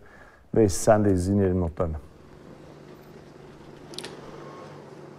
Mehmet Akif Ersoy 4 kişi gözaltına alınmıştı. Onların verdiği ifadeler doğrultusunda yeni delillere de ulaşıldı ve 3 kişi daha gözaltına alındı. Toplam 7 kişi şu an itibariyle jandarmada Cumhuriyet Savcısına ifadeleri ifade veriyor. Bu noktada da e, tabii bir taraftan da çalışmalar devam ediyor.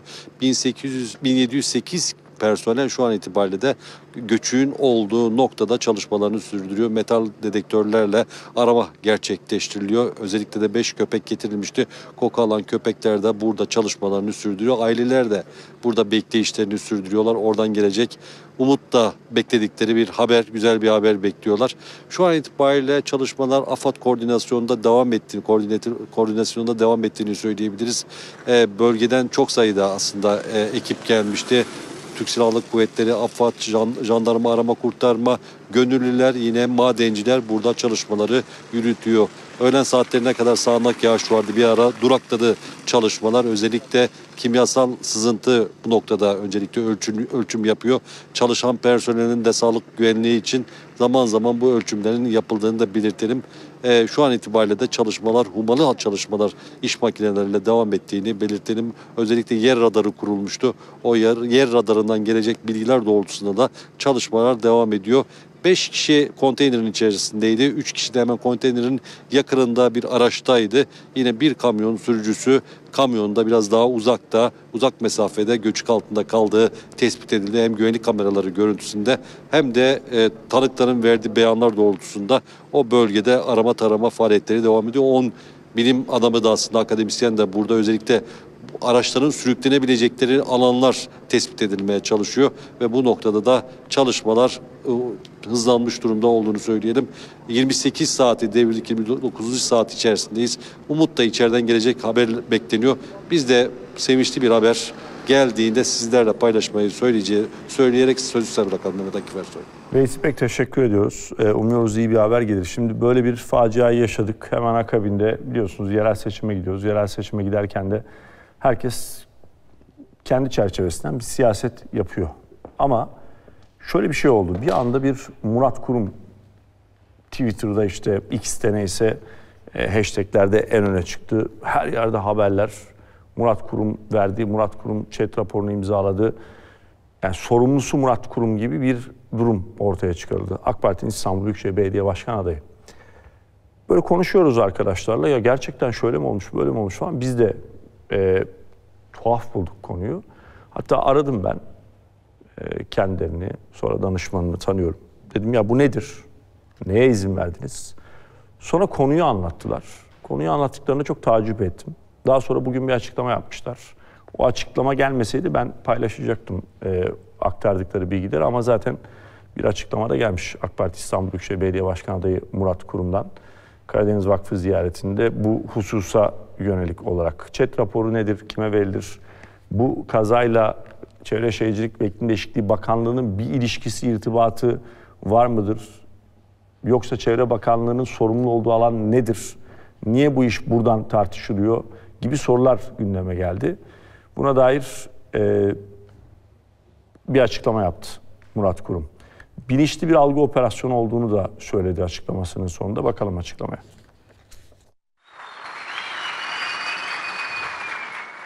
dillerine doladıkları çet kararı da 21 kurum ve kuruluştan oluşan komisyon üyeleri tarafından onaylıdır. 9 kişinin göçük altında kaldığı altın madeni gündemindeydi. Bakanlığı döneminde verilen çet raporunu bu sözlerle değerlendirdi. Tepkileri algı operasyonu dedi. Tek merkezden yönetilen, nereden geldiği hepimizce bilinen, sistematik ve bilinçli bir algı operasyonu ve kara propaganda başlatıldı. Bu konu siyasi bir istismara dönüştürüldü. AK Parti İstanbul Büyükşehir Belediye Başkan adayı Murat Kurum seçim maratonunu sürdürüyor. Kurum Karadeniz Vakfı'nı ziyaret etti. Konuşmasında Erzincan'daki maden göçüğüne dikkat çekti. Bakanlığı döneminde şirkete ceza kesildiğini söyledi. Kapasite artışı iddialarını yalanladı.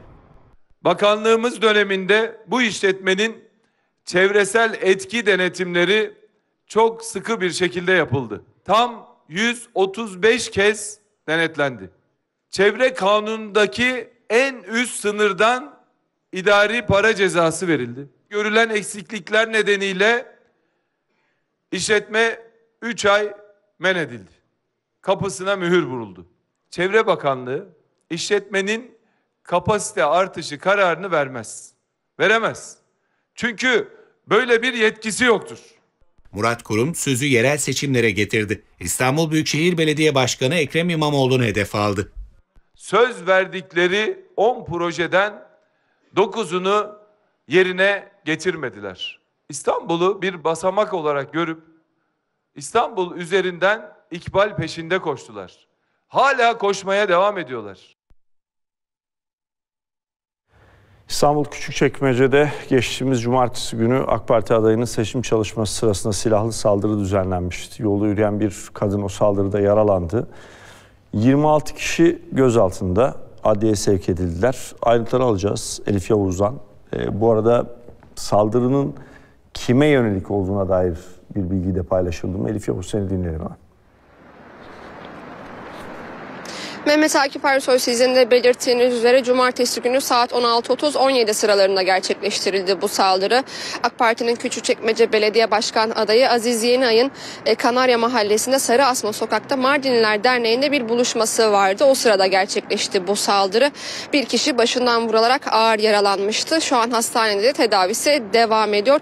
Saldırının Aziz Yeniay'ın seçim çalışmalarına yönelik olduğu değerlendirmesi yapılıyor adli kaynaklardan edindiğimiz bilgilere göre. Bu konu bağlamında 26 kişi gözaltına alınmıştı. 4'ü suça sürüklenen çocuk e, statüsündeydi. Onların ifadeleri tamamlandı. Biri adli kontrol talebiyle, üçü de tutuklama talebiyle nöbetçi suç ceza hakimine sevk edildiler.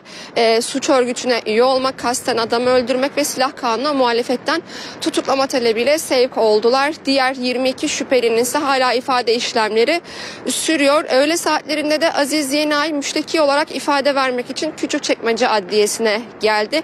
Aziz Yenay'ın beraberinde e, seçim güvenliğini sağlamak amacıyla yanında bulunan 3 polis de müşteki sıfatıyla ifade vermek üzere Küçükçekmece Adliyesi'ne geldi. Aziz Yenay da e, saldırısının kendine yönelik olduğu değerlendirmesinde bulunarak şikayetçi olduğunu ifade etti. E, konuyla ilgili olarak da yapılan değerlendirmeler, tespitler ise şu yönde ifadelerinde şüpheliler ifadelerinde bizim aslında saldırımız Aziz Yenay'a yönelik değildi. Husumetlimiz vardı ona yönelik o ifadelerini kullandılar. Ancak yapılan tespitlerde iddia ettikleri husumetli kişinin bir saat öncesinde olay yerinden ayrıldığını ve sokakta bulunmadığı tespit edildi. Aziz Yenay'ın toplantısının bitmesinin ardından dışarı çıkmasıyla saldırının gerçekleştiği tespit edildi yapılan soruşturma kapsamında. Toplamda 26 kişi gözaltına alındı. 4'ü suça sürüklenen çocuk e, statüsündeydi. Onların ifade işlemleri tamamlandı. 3'ü tutuklama talebiyle, biri adli kontrol talebiyle nöbetçi suç ceza hakimine sevk oldu. 22 şüphelinin ise e, şu anda ifade işlemleri halen devam ediyor. Biz gelişmeler oldukça aktarmaya devam edeceğiz diyelim. Sözü size bırakalım. Elif Yavuz teşekkür ediyoruz. Ee, devam edelim. 12 yıl sonra Kahire'ye giden Cumhurbaşkanı Erdoğan, Mısır Cumhurbaşkanı Sisi ile ortak basın toplantısı düzenledi. Bu arada 12 yıl sonra deme sebebimiz şu. En son başbakanken 12 yıl önce ziyaret etmişti. Akabinde o dönem Cumhurbaşkanı Abdullah Gül Kahire'ye, Cumhurbaşkanı Muhammed Mursi iken bir ziyaret gerçekleştirmişti. Sonra olanlar zaten malumuz. Ee, yani 10 Temmuz 2013 darbe sürecinden sayarsak 11 yıl sonra Cumhurbaşkanı'nın son ziyareti de 12 yıl sonra. İki ülke ilişkilerinde yeni bir dönüm noktası artık. Cumhurbaşkanı Erdoğan da buna işaret etti. 15 milyar dolarlık ticaret hedefinde mutabık kaldık dedi. Cumhurbaşkanı Gazze'de akan durması için de Mısır'la işbirliği içerisinde olunacağını söyledi. Gazze'de akan kanın durması için Mısırlı kardeşlerimizle işbirliği ve dayanışma halinde olmaya devam edeceğiz. Ateşkesin bir an evvel tesisi ve insani yardımların engelsiz bir şekilde Gazze'ye sevki önceliğimizdir. Gazze insansızlaştırılamaz dedi. Gazze'lilerin sürgün ettirilmesi girişimlerinin yok hükmünde olduğunu belirtti. Cumhurbaşkanı Erdoğan 12 yıl sonra Mısır'a gitti. Birkaç yıldır süren normalleşme görüşmelerinin, e, müzakerelerinin nihayete erdiği ve artık son noktanın konulduğu noktadayız, yerdeyiz. Arkamdaki e, Türkiye Cumhuriyeti uçağı, Cumhurbaşkanı Erdoğan'ı taşıyan uçak Kahire'ye indi. Onu Mısır Cumhurbaşkanı Sisi resmi törenle karşıladı. Mısır Cumhurbaşkanı Abdülfettah El-Sisi ile görüşen Erdoğan ortak basın toplantısına katıldı. Erdoğan'ın gündeminde Gazze'deki insani durum vardı. Netanyahu yönetimi işgal, yıkım ve katliam politikasını tüm tepkilere rağmen pervasızca sürdürüyor. Gazze halkının topraklarından sürgün ettirilmesi yönündeki girişimler bizler için yok hükmündedir. Netanyahu yönetimi katliamlarını Gazze'li sivillerin sığındığı son nokta olan Refah'da taşımaktan uzak durmalıdır. Uluslararası toplum sonu soykırıma varacak böyle bir çılgınlığa izin vermemelidir. Hem Erdoğan hem de Sisi ilişkilerde yeni bir sayfa vurgusu yaptı. Değerli kardeşimi konsey toplantımızı gerçekleştirmek üzere ilk fırsatta Ankara'ya beklediğimi söyledim. Bu ziyarette inanıyorum ki ilişkilerimizde yeni bir dönüm noktası olacaktır. Bugünkü istişarelerimizde ticaret hacmi kısa süre içinde 15 milyar dolara çıkarmak için mutabık kaldık. İki ülke arasında yeni bir sayfa açıyoruz. Cumhurbaşkanı Erdoğan'ın önümüzdeki Nisan ayında Türkiye'yi ziyaret etme davetine cevap vermeyi sabırsızlıkla bekliyorum. Erdoğan'ın ziyareti sebebiyle Mısır sokaklarına afişler asıldı. İki lider, Yüksek Düzeyli Stratejik İşbirliği Konseyi toplantılarının yeniden yapılandırılmasına ilişkin ortak bildiriye de imza attı. Cumhuriyet Halk Partisi Genel Başkanı Özgür Özel Partisi'nin Ankara'da Etimeskut Seçim Ofisi'nin açılışına katıldı. Yerel seçimlere ilişkin mesajlar verdi. CHP'li Büyükşehir Belediye Başkanlarının ivmesinin yukarıya doğru gittiğini söyledi. MHP lideri Devlet Bahçeli'ye de milliyetçilik eleştirileri üzerinden yanıt verdi Özgür Özel. Cumhurbaşkanı Erdoğan'ın Mısır ziyaretine ilişkinde değerlendirmeleri vardı. Bakacağız şimdi özetine. Anketler açıkça görülüyor. Geçmiş seçimlerde taban tabana zıt olduğumuz insanların bu seçimlerde belediyecilik hizmetlerinden sonra Mansur Başkan'a yöneldiklerini, İstanbul'da Ekrem Başkan'a yöneldiklerini, 11 büyük şehrimizin her birisinde Cumhuriyet Halk Partisi'nin başkanlarının ivmesinin yukarıya gittiğini hep birlikte görüyoruz. Yerel seçimler için saha çalışmalarına başladı. MHP Genel Başkanı Devlet Bahçeli'nin milliyetçilik eleştirilerine yanıt verdi. Devlet Bey'e şu kadarını söyleyelim. Geçen sefer onun sözünü dinleselerdi yardım yoktu. Doğalgaz yoktu. Et yardımı yoktu. Millet Devlet Bey'i dinlese su faturalarını teröristler dağıtacaktı. Ama altı okun en önemli simgelerinden bir tanesi olan milliyetçilik okunu kalbinin üstünde taşıyan bu güzel insan bunların hepsini yaptı. CHP Genel Başkanı Özgür Özel partisinin Ankara'da Etimeskut seçim ofisinin açılışına katıldı. Etimeskut Belediye Başkan adayı Erdal Beşikçioğlu için destek istedi. Türkiye'nin dört bir yanında Bessetçe'ye selam söyle, valime selam olsun diyenler adına sizden bu 31 Mart'ta bir rekor kırmanızı ve Erdal Başkan'a sahip çıkmanızı istiyorum. Özel'in Cumhurbaşkanı Erdoğan'a Mısır ziyareti üzerinden de eleştirileri vardı. Biz yıllardır ona devletler arası küslük olmaz dedik. Sisi ile görüş dedik. Buna güne kadar söylediklerinin her birisini inkar edip doğru yola gelmiştir. İstanbul Büyükşehir Belediye Başkanı Ekrem İmamoğlu Yeşil İstanbul proje tanıtım toplantısında konuştu. 16 milyon İstanbul'da İstanbulluyla yeniden başaracağız dedi. İstanbul'un muhafızıyız cümlesini kurarken bunu boşuna kurmuyoruz. Bizim muhafızlığımız bu şehre nefes aldırmıştır. İstanbul Büyükşehir Belediye Başkanı Ekrem İmamoğlu çevre konusunda yaptıklarını ve yapacaklarını anlattı. Projelerini 10 maddeyle sıraladı. Toplam 35 yaşam vadisi kazandırmak üzere yola çıkıyoruz ve bu yolda da tam yol ileri diyoruz. Bunların tamamlanmasıyla İstanbul'a 10 milyon metrekarenin üzerinde aktif yaşanabilir yeni yaşa, yeşil alanı daha kazandırmış olacağız. İmamoğlu İstanbul'a 6 kent ormanı daha kazandıracaklarını söyledi. Doğal yaşam parkı sayılarını da artıracaklarını belirtti. Terkos Gölü ve Ömerli Gölü doğal yaşam parkları ile birlikte önümüzdeki dönemde toplamda 3 yeni doğal yaşam parkını daha hizmete açacağız. Ekrem İmamoğlu 31 Mart için destek istedi. İstanbul özenli davranacak, 16 milyon insanıyla birlikte yine başaracak. Efendim İYİ Parti Genel Başkanı Meral Akşener, Ankara İlçe Belediye Başkan adayları için genel merkezde düzenlenen tanıtım törenine katıldı. Etimeskut İlçe Belediye Başkan adayı anons edildi. Akşener sahnedeyken bir grup partili tepki gösterdi ve salonda ABD yaşandı. Sesler yükseldi, arbede yaşandı. İyi Parti Genel Başkanı Meral Akşener, Ankara İlçe Belediye Başkan Aday Tanıtım toplantısı için sahnedeyken partiler arasında tansiyon yükseldi.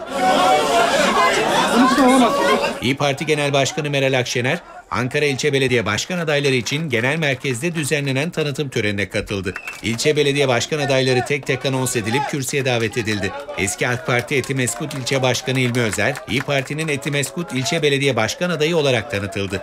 O sırada salonda bulunan ilçe teşkilatında bazı partililer Sevin Çağlayan yerine Özer'in aday gösterilmesine tepki gösterdi. Arbede yaşandı.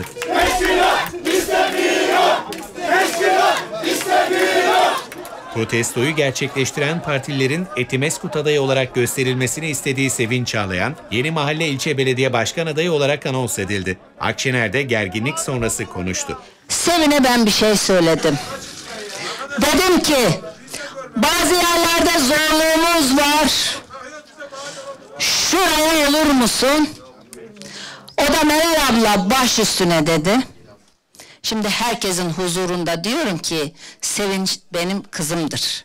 Burada bağıran arkadaşlarımızın da yani ahlaklarını sizin vicdanınıza bırakıyorum. An itibariyle hepsi gitmiştir. Aday tanıtım toplantısında bir karışıklık da yaşandı. İyi Parti Ankara İl Başkanı Yener Yıldırım Akşener'e çubuk adayı olarak ilçe başkanı Halil İbrahim Özdemir'i tanıttı. Yerel yönetimlerden sorumlu Genel Başkan Yardımcısı Burak Akburak müdahale ederek belirlenen adayın Korhan Merki olduğunu söyledi. Aday tanıtım toplantısı sonrasında İyi Parti Ankara İl Başkanı Yener Yıldırım görevden alındı. Akif Sarper Önder İl Başkanı olarak atandı. Efendim şimdi AK Parti ile MHP arasındaki seçim işbirliği çerçevesinde iki büyük şehirde Milliyetçi Hareket Partisi'nden Cumhur İttifakı aday gösterdi. O büyük şehirlerden biri Mersin. E, MHP'yi AK Parti destekliyor Mersin'de. Büyükşehir Belediye Başkan adayı Serdar Soylan da konuğum. Hoş geldiniz. Hoş bulduk. Nasılsınız? Teşekkürler sizler nasılsınız? Sağ olun, teşekkürler. MHP Mersin İl Başkanlığı yaptınız, MHK üyesiydiniz. Evet. Milletvekili adaylığı yaptınız. Evet.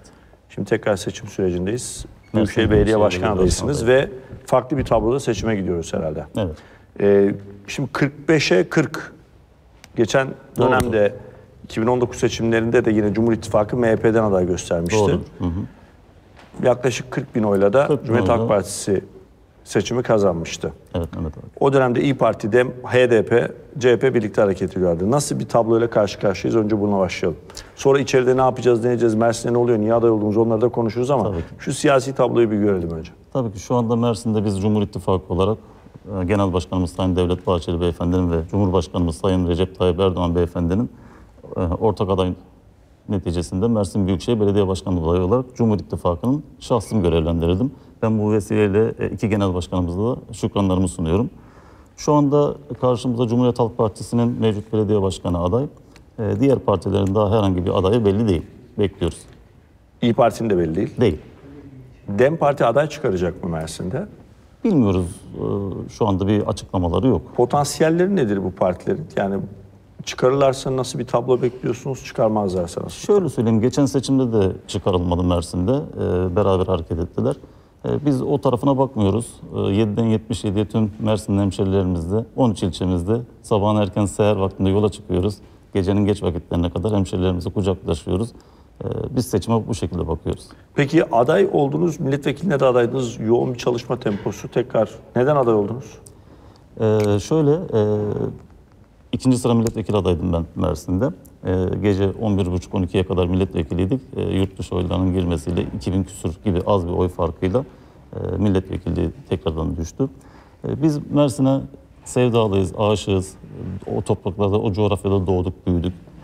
Şehrimize hizmet etmek istiyoruz. Ve Cumhur İttifakı noktasında da artık Mersin'e hizmetlerin gelmesi gerektiğini düşünüyoruz. Bu noktada da şahsım görevlendirildi.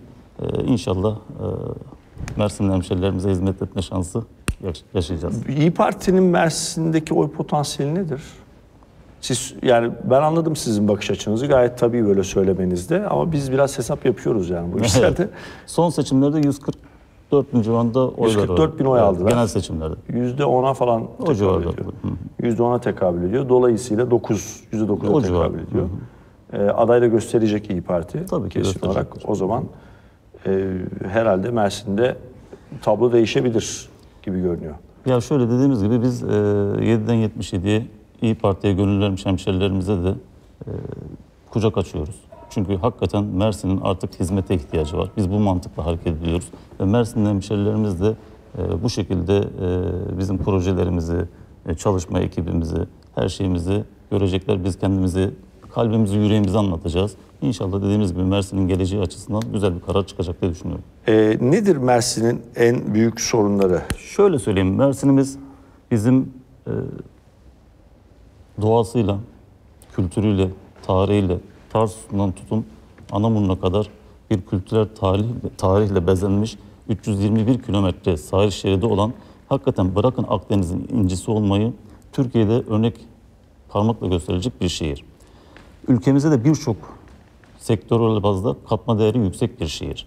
Örneğin 329 bin hektarlık bir tarım işleniyor Mersin'de. Muzu, limonu, çileği, eriği ve üretim rekoltesinde de birinci sıradayız.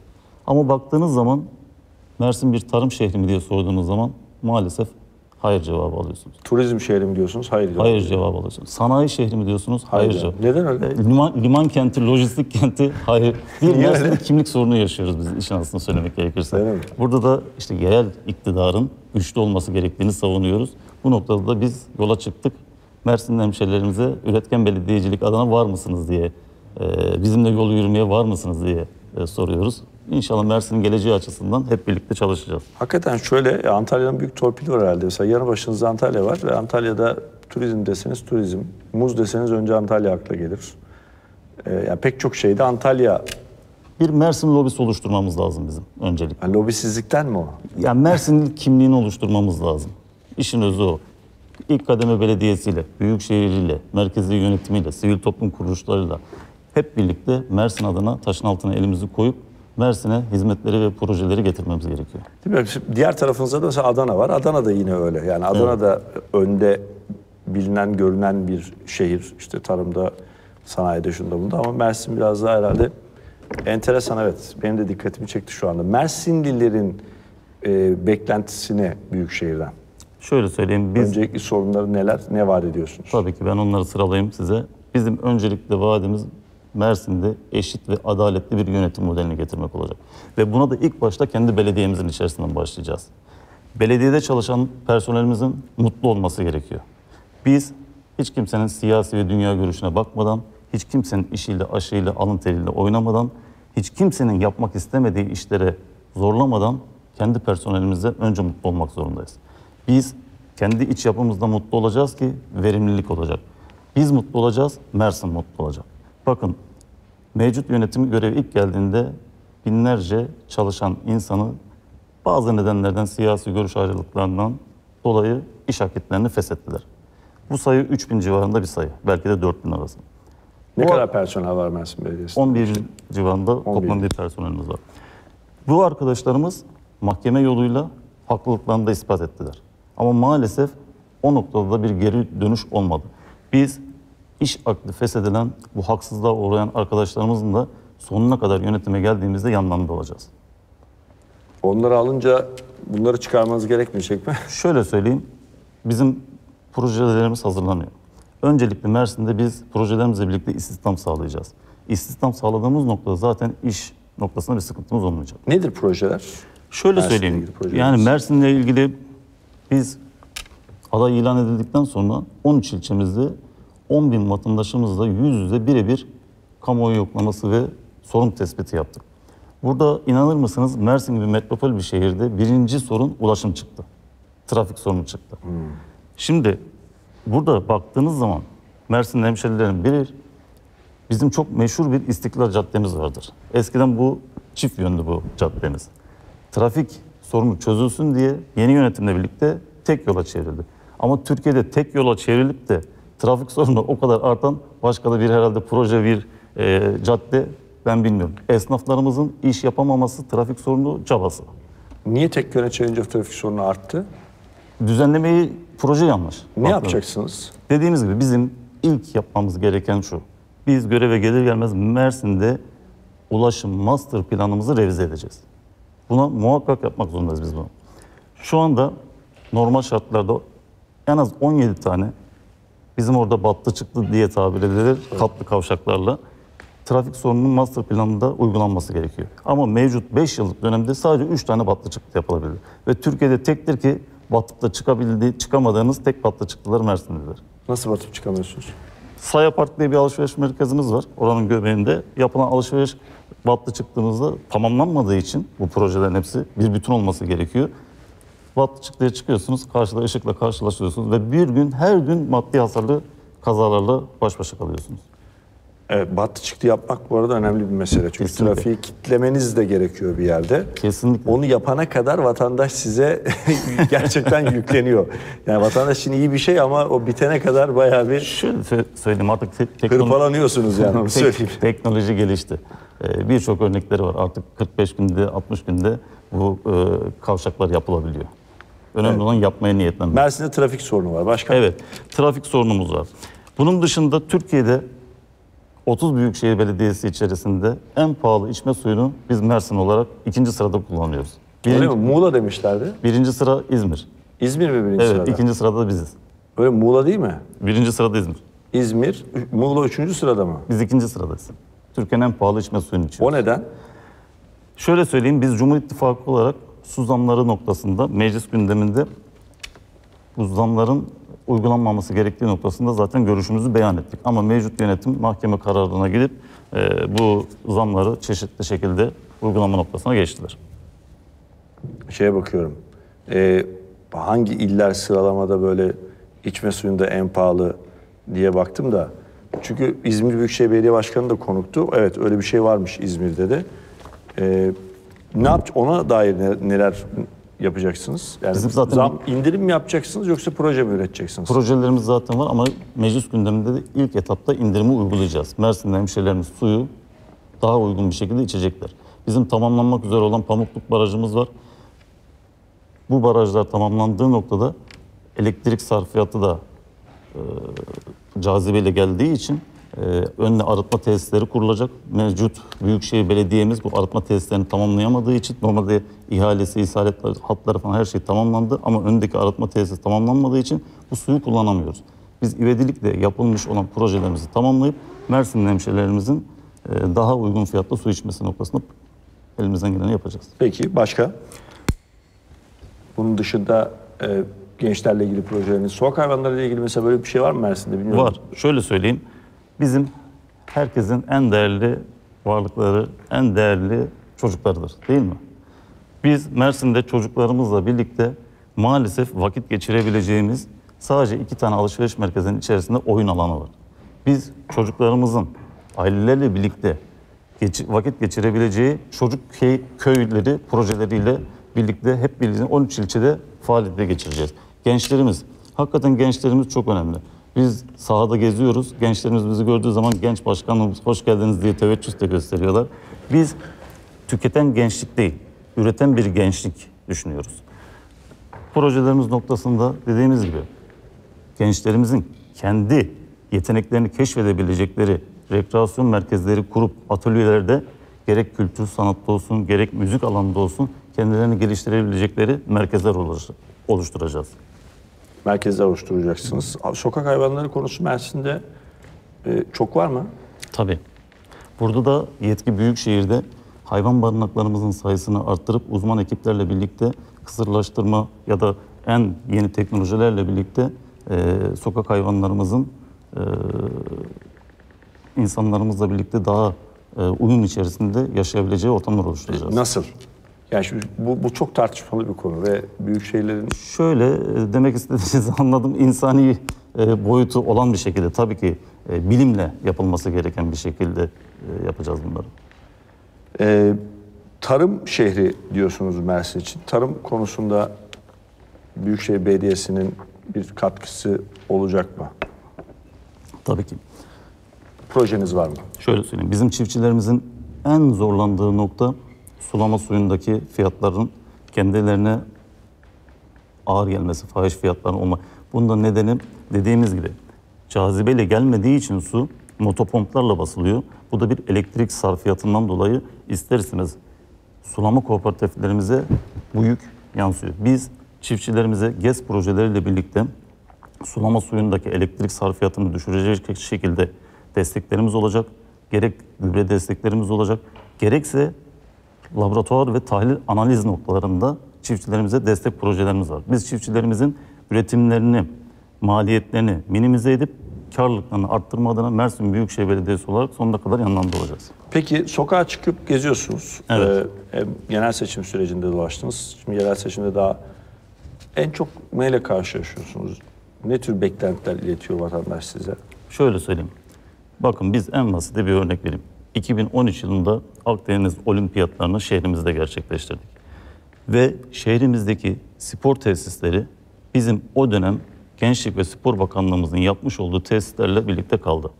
Bizim şehrimizde gençlerimizin vakit geçirebileceği spor tesislerimiz yok. Gençlik merkezlerimiz yok. Kapalı yüzme havuzlarımız sadece bahsettiğim dönemde yapılan tesisler var. Şunu size ifade edeyim. Biz sadece Mersin'de 10 ilçe belediyemizde Cumhur İttifakı yönetimiyle ilk kademe belediyelerde yönetim yapılıyor.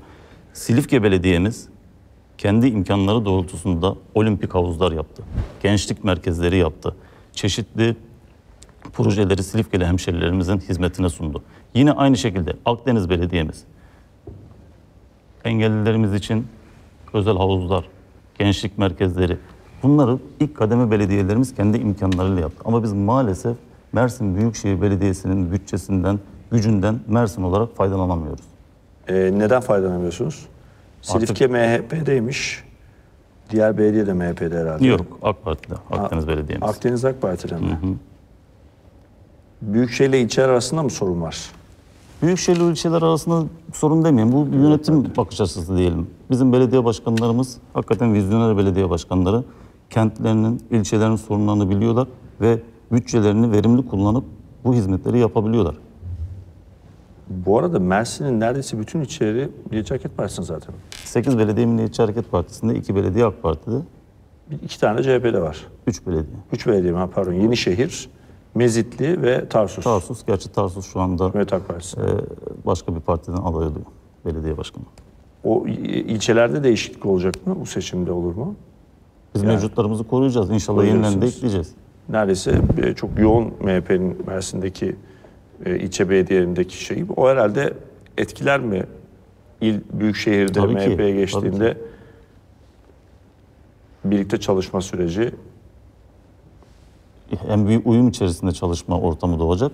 Merkezli hükümet, Büyükşehir Belediyesi, ilçe belediyesi dediğimiz gibi birbiriyle birliğin gücüyle uyum içerisinde çalışacak bir yapı oluşacak. Sokakta vatandaş e, ne istiyor diye sordum. Gençlere gittiniz, yüzme havuzlarına gittiniz ama ekonomik bir takım problemler de var. E, yani vatandaşla konuştuğunuzda sizden beklentileri neler? Ya şöyle tabii ki e, dünya genelinde yaşanan bir global ekonomik kriz var ama vatandaşlarımız bu noktada yerel belediyenin yetkilerini biliyorlar. E, ona göre bir ayrım yapıyorlar. Belediyeden hizmet odaklı bir taleplerimiz var bizim. Ne istiyorlar sizden?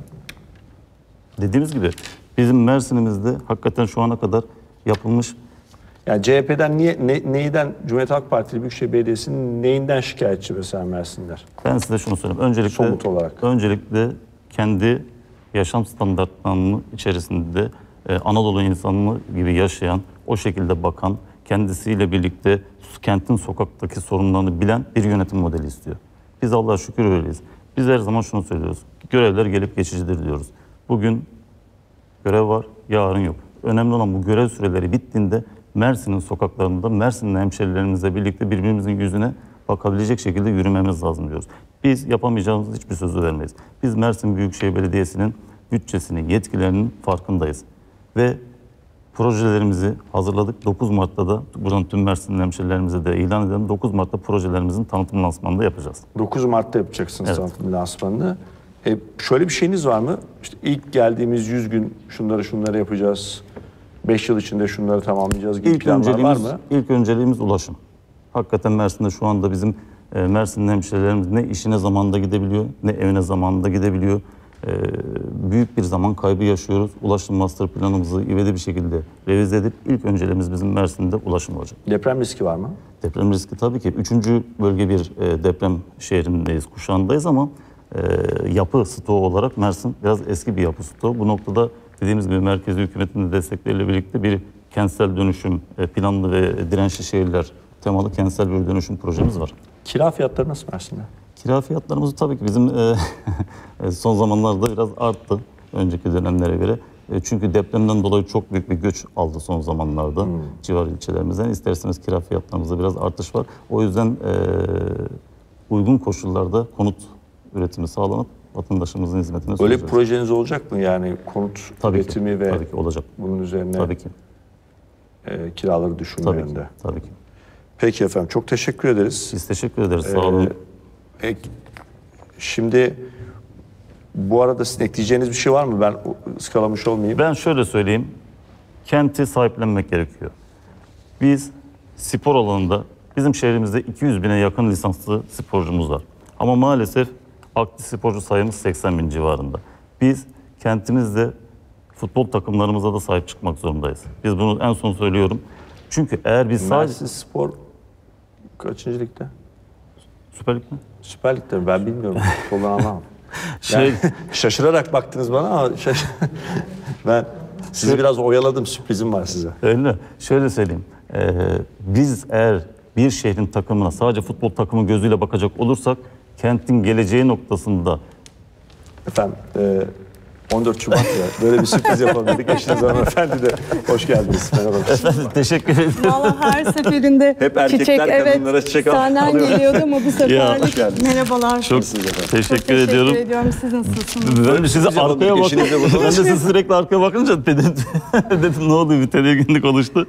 Hakikaten sürpriz oldu. Bugün eşimle birlikte geldik. Hoş geldiniz. Ee, böyle bir Evet, sürprizi teşekkür yaptınız. ediyoruz. Bizi mutlu ettiniz. Biz teşekkür ederiz. Çok teşekkürler. Ee, başarılar diliyoruz. Sizin söylemek istediğiniz var mıdır efendim Mersin'le ilgili? Hayırlı olsun. Çok teşekkür Beraber ediyorum. mi gidiyorsunuz Ee, seçim kampanyasına? Ayrı ayrı. Ayrı ayrı. Ayrı ayrı çalışıyor çalışıyoruz. musunuz? Yani e, evet e, zaman zaman ben de sahaya inmeye çalışıyorum. Öyle mi? Evet eşime destek olmak adına kadınlarla beraber e, aktif siyasetin içinde ona destek olmaya çalışıyoruz. hep Mersin'de beraber. kadınların beklentisine, temel beklentisi sizden, Ee, siz de onu söyleyin. İşin aslı biz e, birçok yerde e, halk eğitimleri ge- gezdik bu zamana kadar. E, kadınlar aktif olmak istiyorlar efendim. Yani kadınlar bir şekilde e, bir şeylerle uğraşmak istiyorlar. Biz o yönde onlarla çok e, Serdar Başkan'ın çok projeleri olduğunu ifade İletiyor ediyoruz. musunuz Çok ciddi- talepleri Kesinlikle. Akşam saat birden sonra oturuyoruz böyle klasörlerle yapılması gerekenlerin hepsini Yani kadınlarla da aramızda konuşuyoruz. Diyorum ki bakın diyorum ben buraya notlarımı alacağım ve bunları Serdar Başkan'a ileteceğim diyorum. Ciddi anlamda da mutlu oluyorlar ve hakikaten de akşam kendi aramızda mini bir toplantımız oluyor. Peki. Ve e, iletiyorum hepsini kendine. Hayırlı olsun. Teşekkür ediyoruz. Hakikaten çok destek oluyor. Biz her zaman söylüyoruz.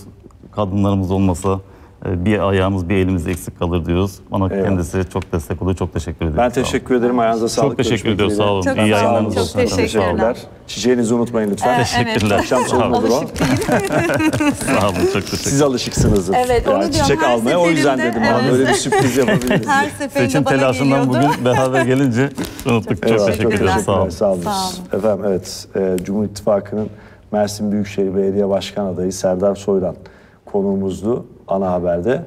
E, Mersin'le ilgili projelerini paylaştı. Bir reklam arası şimdi.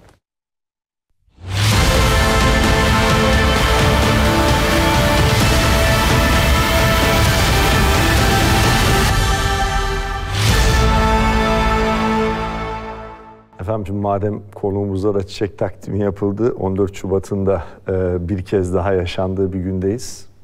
Ben pek böyle şeylerle ilgilenmeyen tiplerdenim ama bugün pek çok çift 14 Şubat Sevgililer Günü'nü kutluyor işte. Akşam yemeğine gidenler var, çiçek alanlar var, sürprizler yapanlar var.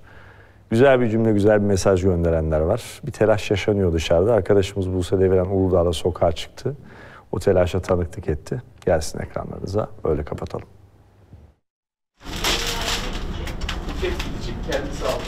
Ben ona çiçek almayı düşünüyorum. Çünkü normalde kadınlar hani alınır ya kadınlara. Ben dedim onu alayım bu sefer. Sevginize mi aldınız? Evet. Başka ne yapacaksınız bugün? Buluşacağız, yemek yiyeceğiz yani. Kimi elinde bir buket çiçekle akşam yemeğine hazırlık yaptı, kimi farklı hediyelerle sevgilisini mutlu etmeye çalıştı. Akşam bir restorana gitmeyi düşünüyorum. İşte kişi başı 1000 lira gibi bir bütçe ayırdık. Hediye. Hediyeye biraz pahalıya denk geldi bana. Ne aldınız? Ben kendisi de bilmiyor buradan söyleyeyim kolye aldım. Kırmızı güller ve kalpler etrafı sardı.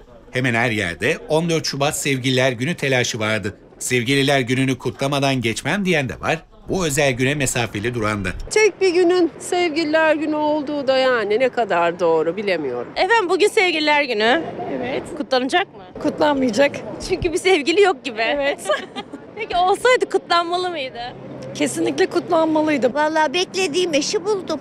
Buldunuz. En güzel hediye o mu diyorsun? En güzel hediye. Başka hiçbir beklentim yok. Bence önemli bir gün. Dambalı. Sevgililer gününün simgesi kırmızı gülün tane fiyatı 100 liradan başlıyor 200 liraya kadar çıkıyor. Olur da siz işte bu şekilde kucak dolusu bir kırmızı gül buketi almak isterseniz bunun fiyatı ise 6500 liradan başlıyor. Sevgililer gününe özel baş başa yemeğe gitmek, hediye almak gibi alternatifler olsa da Gözde hediye yine çiçek oldu. Ben kendim hazırladım. İçinde kalpli balon var. Babam gönderdi. Dedi annene güzel bir buket yap. Ben de geldim yaptım. Pasta yemeye, çay içmeye. Sevgililer günü kutlayacak. Tabii. Satışların düştüğünü söyleyen çiçekçiler eski günleri arıyor. Yoğunuz biraz ama eskiye nazaran çok sakin geçiyor. Ana haberi noktalıyoruz. Bir yere gitmiyoruz. Çünkü birazdan nedir ne değildir var. Kısa bir aradan sonra buluşacağız, konuşacağız efendim. Görüşmek üzere.